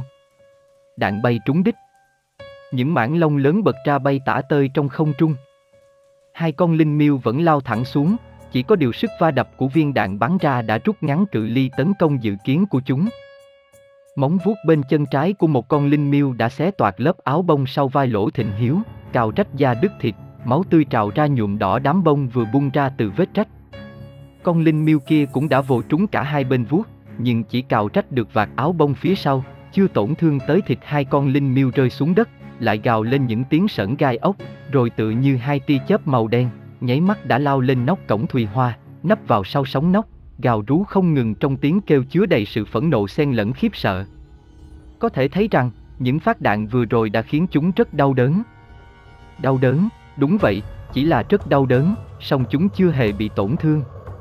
Cảm giác của lỗ nhất khí dường như cũng bay theo những viên đạn đó, cậu cảm thấy đạn va vào cơ thể Linh Miêu, sau đó trượt đi. Cũng có nghĩa là viên đạn chỉ làm tuột mất chút lông da của chúng, nếu không tận mắt chứng kiến, có lẽ cậu không thể tin được rằng loài linh miêu đầu đồng lưng sắt trong truyền thuyết là có thật, hơn nữa, có những hai con đang xuất hiện sống động ngay trước mắt cậu. Cậu hiểu rõ, phải hành động lập tức, bởi lẽ một khi cảm giác đau đớn qua đi, linh miêu sẽ lại tấn công với sức mạnh còn khủng khiếp hơn, giảo hoạt hơn gấp bội. Thế là cậu bước nhanh hai bước, không còn kịp để ý đến lũ chó dưới chân, tiến thẳng về phía lỗ thịnh hiếu. May nhờ có uy lực của viên đá thi khuyển, bầy chó dại nhanh chóng cút đuôi tản đi như một bầy cừu hoảng hốt lỗ thịnh hiếu đoán được ý đồ của lỗ nhất khí, ông cũng chuẩn bị chạy về phía cậu. Lúc này, những con chó bao vây ông ở gần phía lỗ nhất khí cũng đã bắt đầu lùi lại song đám chó ở phía cổng Thùy Hoa vẫn không chịu buông tha, không để ông rảnh tay lấy một lát. U, ngoao. Hai con linh miêu trong chốc lát đã lấy lại vẻ hung hãn tiếp tục lao vút xuống, nhưng lần này tốc độ càng chóng mặt hơn, khí thế cũng càng dữ dội hơn. Cần phải chặn chúng lại, nếu không, chắc chắn lỗ thịnh hiếu sẽ mất mạng dưới cú tấn công này lỗ nhất khí lại bóp cò, song lần này, trong ổ đạn chỉ còn lại hai viên, cậu biết sẽ không thể bắn chết chúng, bởi vậy, cần phải cố gắng hết sức để ngăn cản chúng lại. Hai viên đạn một trước một sau vụt ra từ nòng súng, xuyên thẳng vào mắt trái của một con linh miêu đúng như dụng ý của cậu. Con linh miêu lộn nhào một vòng trên không trung, rồi rơi phịch xuống đất, không ngừng giãy dụa. Con linh miêu còn lại lao thẳng vào lỗ thịnh hiếu với một tư thế tấn công gần như hoàn hảo, lỗ thịnh hiếu vừa tránh né những cú tấn công của bầy chó, vừa quăng lưỡi rìu trăng khuyết cán công trong tay phải về phía con linh miêu đang sáp tới. Nhìn thấy một vệt sáng quắc xẹt thẳng đến trước mặt, con linh miêu lắc mình vặn nghiêng, đáp ngay xuống đất, tránh được lưỡi rìu. Con linh miêu trúng đạn đang lăn lộn trên mặt đất vẫn chưa chết, nó không nhảy lên nóc cổng nữa, mà phóc một cái, vừa gào lớn vừa chạy vụt ra bên ngoài cổng Thùy Hoa. Con Linh Miêu vừa đáp xuống lại vụt lên nóc cổng như một tia chớp. Hết chương 15. Xin chào và hẹn gặp lại bạn ở tập tiếp theo. Đừng quên nhấn like và đăng ký kênh bạn nhé.